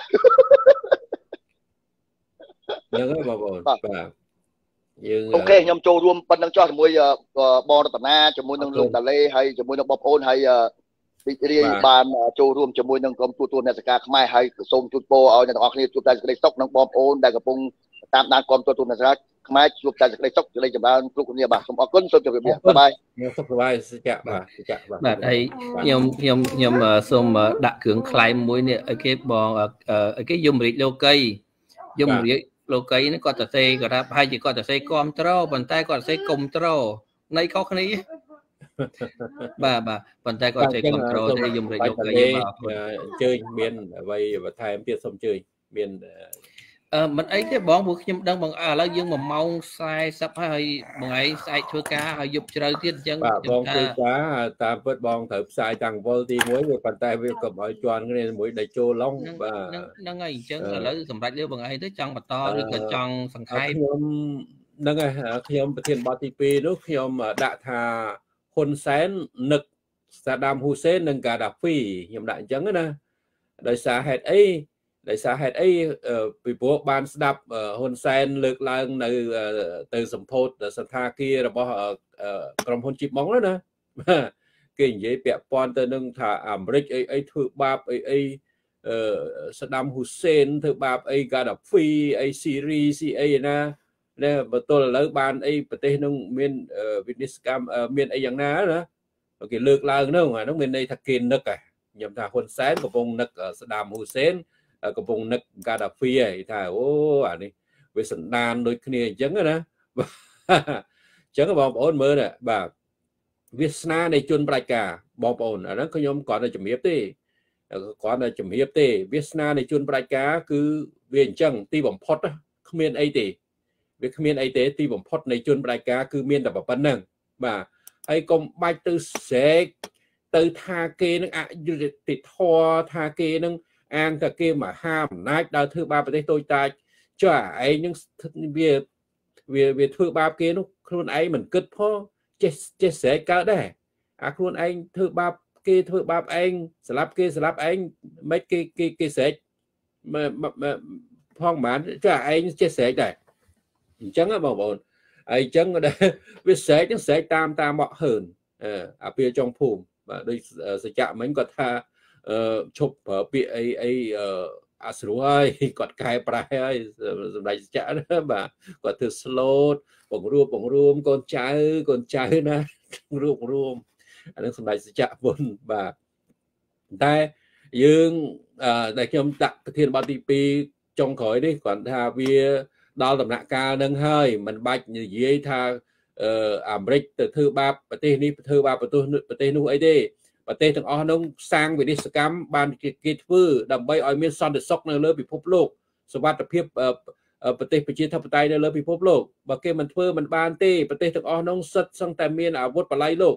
អាវុធជីវសាស្ត្របាទណាអញ្ចឹងបានអាមេរិកគេដាក់គេធ្វើនោះបាទកុំឯងទៅស្រែកកុំអីនោះបាទអានេះវាដល់ដំណាក់កាលចុងក្រោយវាភ័យដែរបងប្អូនបាទភ័យឃើញឃើញអញ្ចឹងណាចុងក្រោយវាភ័យ បាទភ័យអញ្ចឹងទៅ គឺថានឹកឃើញដល់ណាគេចងកស្ដាំហ៊ូសេនណាហើយគេវាយហ្គាដាហ្វីចូលក្រុមលូអីហ្នឹងចិត្តដល់ចិត្តដល់វេនអញហើយចិត្តដល់វេនអញហើយណានឹកឃើញបាទសមោលអតីតកាលណាបាទអញ្ចឹងបាទនេះខ្ញុំគ្រាន់តែជំរាបបងប្អូនអញ្ចឹងឯងហ៊ុនសែនវាចិត្តដល់ហើយដល់ពេលហ្នឹងពេលវេលាហ្នឹងឯងបាទបងរតនាអឺរឿងមួយទៀតបាទរឿងមួយទៀតគឺ ខ្ញុំចង់រំលឹកបងប្អូនអឺអំពីរឿងហ៊ុនសែនជាប្រធានអាស៊ាននេះណាសូមឲ្យប្រជាពលរដ្ឋអាស៊ានទាំងអស់ផងប្រយ័ត្នពីព្រោះហ៊ុនសែននឹងបានបណ្ដោយឲ្យចិនយកប្រទេសកម្ពុជាធ្វើជារោងចក្រផលិតគ្រឿងញៀនបាទបាទបាទគឺគឺគឺហ៊ុនសែនបើកដៃឲ្យជនជាតិចិនក្រមម៉ាហ្វៀចិនហ្នឹងយកប្រទេសកម្ពុជាយើងនឹងធ្វើជាទីតាំងផលិតគ្រឿងញៀនចែកចេញទៅតំបន់ប្រទេសដទៃទៀតឃើញទេបាទដូច្នេះ បាទគឺហានិនយោបាយរបស់ហ៊ុនសែនការដឹកនាំរបស់ហ៊ុនសែននេះគឺបង្កហានិភ័យមិនត្រឹមតែប្រជាពលរដ្ឋខ្មែរទេគឺប្រជាពលរដ្ឋនៅក្នុងតំបន់អាស៊ីមិនដឹងជា គ្រឿងញៀនដែលគេចាប់បាន80តោនថ្ងៃមុនហ្នឹងបាទនាំចេញទៅប្រទេសណាខ្លះទេអានេះមិនដឹងថាទៅអាស៊ីអីស្អីនាំទៅដល់អូស្ត្រាលីនាំទៅដល់ប្រទេសអឺអីណាឆ្ងាយឆ្ងាយផ្សេងទៀតក៏យើងអត់ដឹងដែរយើងមើលមិនឃើញទេបាទក៏ប៉ុន្តែអឺរឿងនេះវាជាគ្រោះថ្នាក់ បាទមិនមែនត្រឹមតែប្រជាពលរដ្ឋខ្មែរយើងទេគឺអឺបាទពិភពលោកបាទបាទពិភពលោកបាទបាទអញ្ចឹងដែលបាទពាក់ព័ន្ធនឹងគ្រឿងញៀននេះដែរហើយដែលវាថាសេដ្ឋកិច្ចវារីកចម្រើនគ្រាន់តែបើកភ្លាមកូវីដភ្លាមវាថាសេដ្ឋកិច្ចរីកចម្រើនអីអីអីអីណាវាអីអីតាមពិតវារីកចម្រើនដោយសារវាផលិតគ្រឿងញៀនហ្នឹងបងប្អូនដោយសារវាលក់អាភៀនកឆាហ្នឹងវាបានលុយនឹងមកអញ្ចឹងបានវាជាមោទនភាពវាចេះវាអត់ភ័យវាអត់ ខ្លាចអីណាដាក់តន្តកម្មអីវាឲ្យចិនមកផលិតគ្រឿងញៀនពេញក្នុងប្រទេសហ្នឹងបាទអានឹងវារកស៊ីម៉ាស់ផ្សារឿងគ្រឿងញៀនហ្នឹងតើវាបានលុយមកចិញ្ចឹមរដ្ឋាភិបាលហ្នឹងអញ្ចឹងបងប្អូនអានឹងវាចេះតែនេះទៅបាទពាក់ព័ន្ធគ្រឿងញៀនហ្នឹងពីព្រឹកមិញហ្នឹងគឺថាខាងបងអូនប៉ាងសខឿនចាំចានីអីហ្នឹងគាត់បានផ្សាយម្ដងហើយពាក់ព័ន្ធទៅនឹងការចាប់បានគ្រឿងញៀនអីផ្សេងផ្សេងណាហើយខ្ញុំក៏មានព័ត៌មានអត់នឹងចង់ជម្រាបជូន ផងដែរដែលគេចាប់បានគ្រឿងញៀនអីអីហ្នឹងបាទគឺចង់ទម្លាក់កំហុសមករឿងបលិសនឹងដែលកាន់កាប់ដោយសម្ដេចសខេងនឹងគឺចង់ប្រសាបប្រជាប្រិយភាពសម្ដេចសខេងអីអីនឹងបាទហើយកែវកំយ៉ានឹងប្រធានអាជ្ញាធរគ្រឿងញៀនញៀនទៀតបាទកែកំយ៉ានឹងដែលជាខ្សែរបស់សខេងនឹងគឺចង់ប្រសាបប្រជាប្រិយភាពចង់ប្រសាបអធិពលសខេងនឹងគឺចង់ដាក់គំនាបរឿងតែងតាំងកូនគេជា នាយករដ្ឋមន្ត្រីយួនអីហ្នឹងបាទបន្តពីតេវវេវហ្នឹងអាហ្នឹងវាសិតតែរឿងពីលស៊ីពីលទេបងប្អូនរឿងពីលស៊ីពីលទេ បាទហើយនៅមានរឿងរ៉ាវជាច្រើនទៀតនៅក្នុងប្រទេសកម្ពុជានោះវាមិនមែនតែប៉ុណ្្នឹងទេវាមានយកអាកន្លែងមូលដ្ឋានកងទ័ពហ្នឹងទៅផលិតគ្រឿងញៀនទៅផលិតណាបារីផលិតស្អីណាកងពល តូចង70នេះកងកងពលង70នេះដែលជាកងពលមួយរបស់បាទកងពលអន្តរាគមរបស់ហ៊ុនសែនអានឹងកងពលប្រតិកម្មបន្តរបស់ហ៊ុនសែនហ្នឹងអានឹងវាទៅយកកន្លែងកងពលអាកន្លែងង70ហ្នឹងទៅផលិតជាបរិយ555ផលិតជាបរិយម៉ាបូរ៉ូបរិយអីคล้ายคล้ายវាផលិតคล้ายคล้ายវាឲ្យចិនទៅធ្វើរោងចក្របរិយនៅក្នុងកន្លែងប្រទេសកងតបហ្នឹងអញ្ចឹងបងប្អូន បាទនឹងវាជាអ្វីបាទព័ត៌មានហ្នឹងគឺយើងទទួលបានពីពីកងទ័ពនៅដែលធ្វើការនៅទីនោះផ្ញើមកណាបាទអញ្ចឹងណាវាយកកន្លែងទីតាំងមូលដ្ឋានកងទ័ពវាទៅផលិតគ្រឿងបាទផលិតគ្រឿងអាភៀនគ្រឿងកឆាអាភៀនអីចឹងបរិយអីចឹងទៅ បាទផលិតអាខ្លែងខ្លាយផលិតអាខ្លែងខ្លាយណាបាទ555ម៉ាបរ៉ូអីនោះសិតតែធ្វើនៅអានេះនឹងអស់បាទនៅកងកងពល ង70នឹងទាំងអស់បាទអញ្ចឹងឥឡូវយើងត្រូវតែបកកកាយឲ្យបងប្អូនប្រជាប្រដ្ឋបានដឹងបាទហើយយើងត្រូវជជែកបន្តទៀតដែរបាទសម្ដេចបងតាលេឥឡូវនឹងត្រឹមប៉ុណ្្នឹងហើយបាទយើងបាទបិសាយប្រុសក៏ថាក្រុមក្រុមខាងណា ចាប់បានគ្រឿងញៀន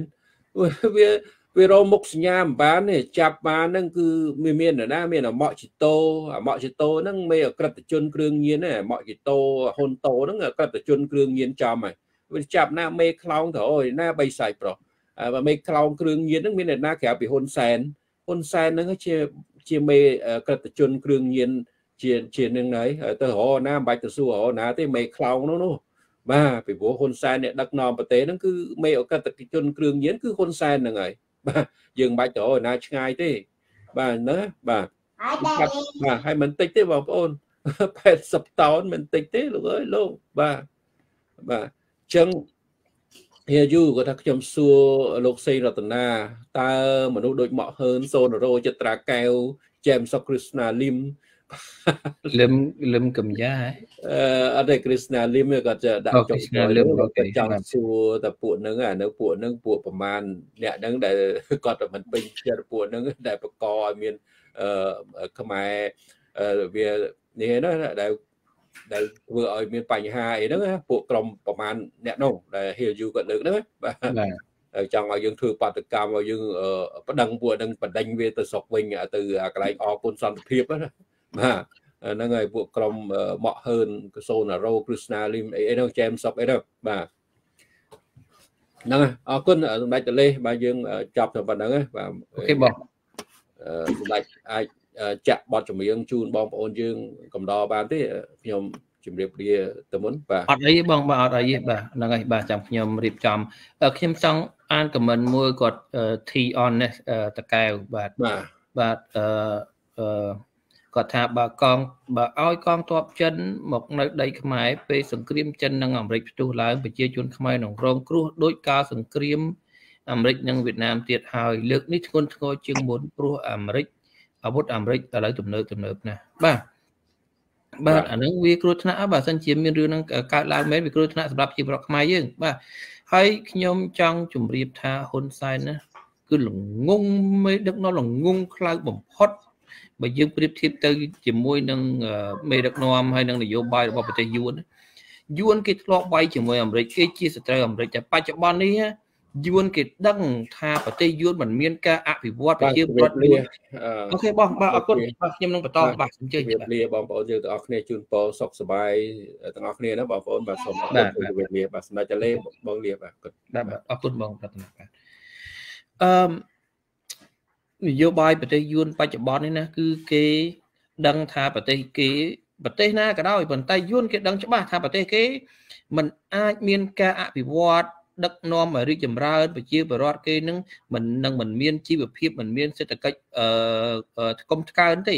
បើសិនជាគេមិនធ្វើការចាប់ដៃសហការជាមួយនឹងប្រទេសលោកសេរីហើយប្រទេសណាដែលគេសម្លឹងឃើញថាគេនឹងយកធ្វើជាគោលដៅចាប់ចាប់ដៃខ្លាំងបំផុតគឺប្រទេសអាមេរិកប្រទេសអាមេរិកបាទយួនគឺគេរៀបចំវិធីមួយដើម្បីឲ្យមាននយោបាយការទូតជាមួយអាមេរិកនឹងល្អល្អើន ហើយអ្នកណាគេដែលជាសត្រូវពាន់ឆ្នាំរបស់យួនគឺមហាអំណាចចិនឃើញទេបាទអញ្ចឹងយួនធ្វើម៉េចដើម្បីអូសទាញដើម្បីឲ្យយួនអូសទាញអាមេរិកឲ្យមកមកគ្រប់គ្រងខ្លួនពេញដៃពេញជើងគឺយួនត្រូវតែប្រឆាំងជាមួយនឹងប្រទេសចិនពីព្រោះយួនដឹងថានយោបាយចិនហើយនិងនយោបាយអាមេរិកអត់ត្រូវគ្នាទេបាទផ្ទុយគ្នាអញ្ចឹងយួនដើម្បីអោបជើងអាមេរិកឲ្យជាប់គឺយួនត្រូវ ទៅទៅទៅចេញមុខបាទចេញមុខប្រឆាំងនឹងចិន ហើយយួនប្រើកូនជើងរបស់ខ្លួនឲ្យទៅអោបជើងចិន បាទយួនប្រើកូនជើងរបស់ខ្លួនឲ្យទៅអោបជើងចិនប្រយោជន៍នឹងដើម្បីអីតទៅអនាគតតទៅថ្ងៃខាងមុខបងប្អូនហ៊ុនសែនដឹកនាំប្រទេសខ្មែរនេះធ្វើឲ្យអាមេរិកស្អប់ខ្មែរអូខេធ្វើឲ្យអាមេរិកស្អប់ខ្មែរហ៊ុនយួនគេរុញឲ្យហ៊ុនសែនទៅអោបជើងចិនគឺដើម្បីឲ្យហ៊ុនសែនបង្កទំនាស់ជាមួយនឹងអាមេរិកបង្កទំនាស់ជាមួយនឹងសហគមន៍អឺរ៉ុបទាំងអស់ក្នុងគណៈពេលដែលយួនស្វែងរកការទូតស្វែងរកមិត្តភាពជាមួយនឹងអាមេរិកជាមួយនឹងប្រទេសអឺរ៉ុបជាមួយនឹងប្រទេសសេរីនៅពេលណាដែលគេបានទទួលខ្លាយទៅជាមិត្តភ័ក្តិជាមួយនឹងប្រទេសសេរីហើយណាថ្ងៃក្រោយខ្មែរចង់ទៅតវ៉ាប្តឹងទាមទារជាមួយយួនរឿងកោះត្រល់រឿងព្រំដែនដែលគេកំពុងរំលោភទីរាល់ថ្ងៃនេះណា គឺតឹងហើយពិបាកហើយវេទនាហើយបាទហ៊ុនសែនរាល់ថ្ងៃនេះអូសខ្មែរទៅពាក់មុខយៈជាមួយនឹងអង្គការសហប្រជាជាតិពាក់មុខយៈជាមួយនឹងប្រទេសមហាអំណាចសេរីណាថ្ងៃក្រោយថ្ងៃក្រោយបើយើងចង់តែប្តឹងអន្តរជាតិប្តឹងជាមួយយួនអាមេរិកគេងាកមើលទៅយួនអើយយួនមិត្តគេដែរឥឡូវបាទពីមុនវាយគ្នាក៏ដែរឥឡូវយួនមិត្តគេណាបាទយួនជួយចេញមុខ យួយជួយយួនជួយចេញមុខវាយជាមួយចិនណាបាទហើយអឺហ៊ុនសែនវិញអូហ៊ុនសែនអង្គុយជេរអាមេរិកចង់កំទេចអាវុធអាមេរិកណាតេះឌីលអាមេរិកមើលងាយអាមេរិកហ្នឹងបាទនយោបាយគេមើលទៅថ្ងៃមុខគឺអញ្ចឹងបាទគឺមើលទៅថ្ងៃមុខគឺអញ្ចឹងបាទអាហ្នឹងគឺអឺឥឡូវគឺអត់ហើយបាទខ្ញុំចង់បង្ហាជម្រាបបងប្អូន អ្វីដែលជាការបញ្ចេញទស្សនៈរបស់ខ្ញុំបាទបងប្អូននេះពេលវេលាក៏នេះខ្ញុំនឹងរកចម្រៀងជូនបងប្អូនបាទប៉ុន្តែវាបាទយើងមានមេដឹកនាំល្ងងល្ងងយ៉ាងនេះបងប្អូនបាទបាទគេអោបដៃគេអោបជើងមហាអំណាចដើម្បីគេមានទាំងឥទ្ធិពលនៅលើការទូតបើសិនជាមានការបដិងផ្ដាល់ជាមួយគេហើយគេរុញឲ្យអាយ៉ងរបស់ខ្លួនដែលគេបំរុងស៊ីបំរុងលេខតបាក់ហ្នឹងឲ្យទៅអោបជើងចិនហើយ ពាក់មុខយៈคล้ายជាសត្រូវជាមួយនឹងប្រទេសមហាអំណាចទាំងអស់បាទថ្ងៃក្រោយមានចំនួនប្តឹងផ្ដល់លើឆាកអន្តរជាតិគេមិនមើលមុខយើងទេបាទគេអត់មើលមុខយើងទេបាទបាទអញ្ចឹងសូមអរគុណអឺសូមអរគុណចំពោះការតាមដានរបស់បងប្អូនហើយមានការលើកខុសខុសត្រង់ណាសូមបងប្អូនកាន់តែអភ័យទោសបាទខ្ញុំបាទសូមជម្រាបលានិងសូមជូនពរបាទ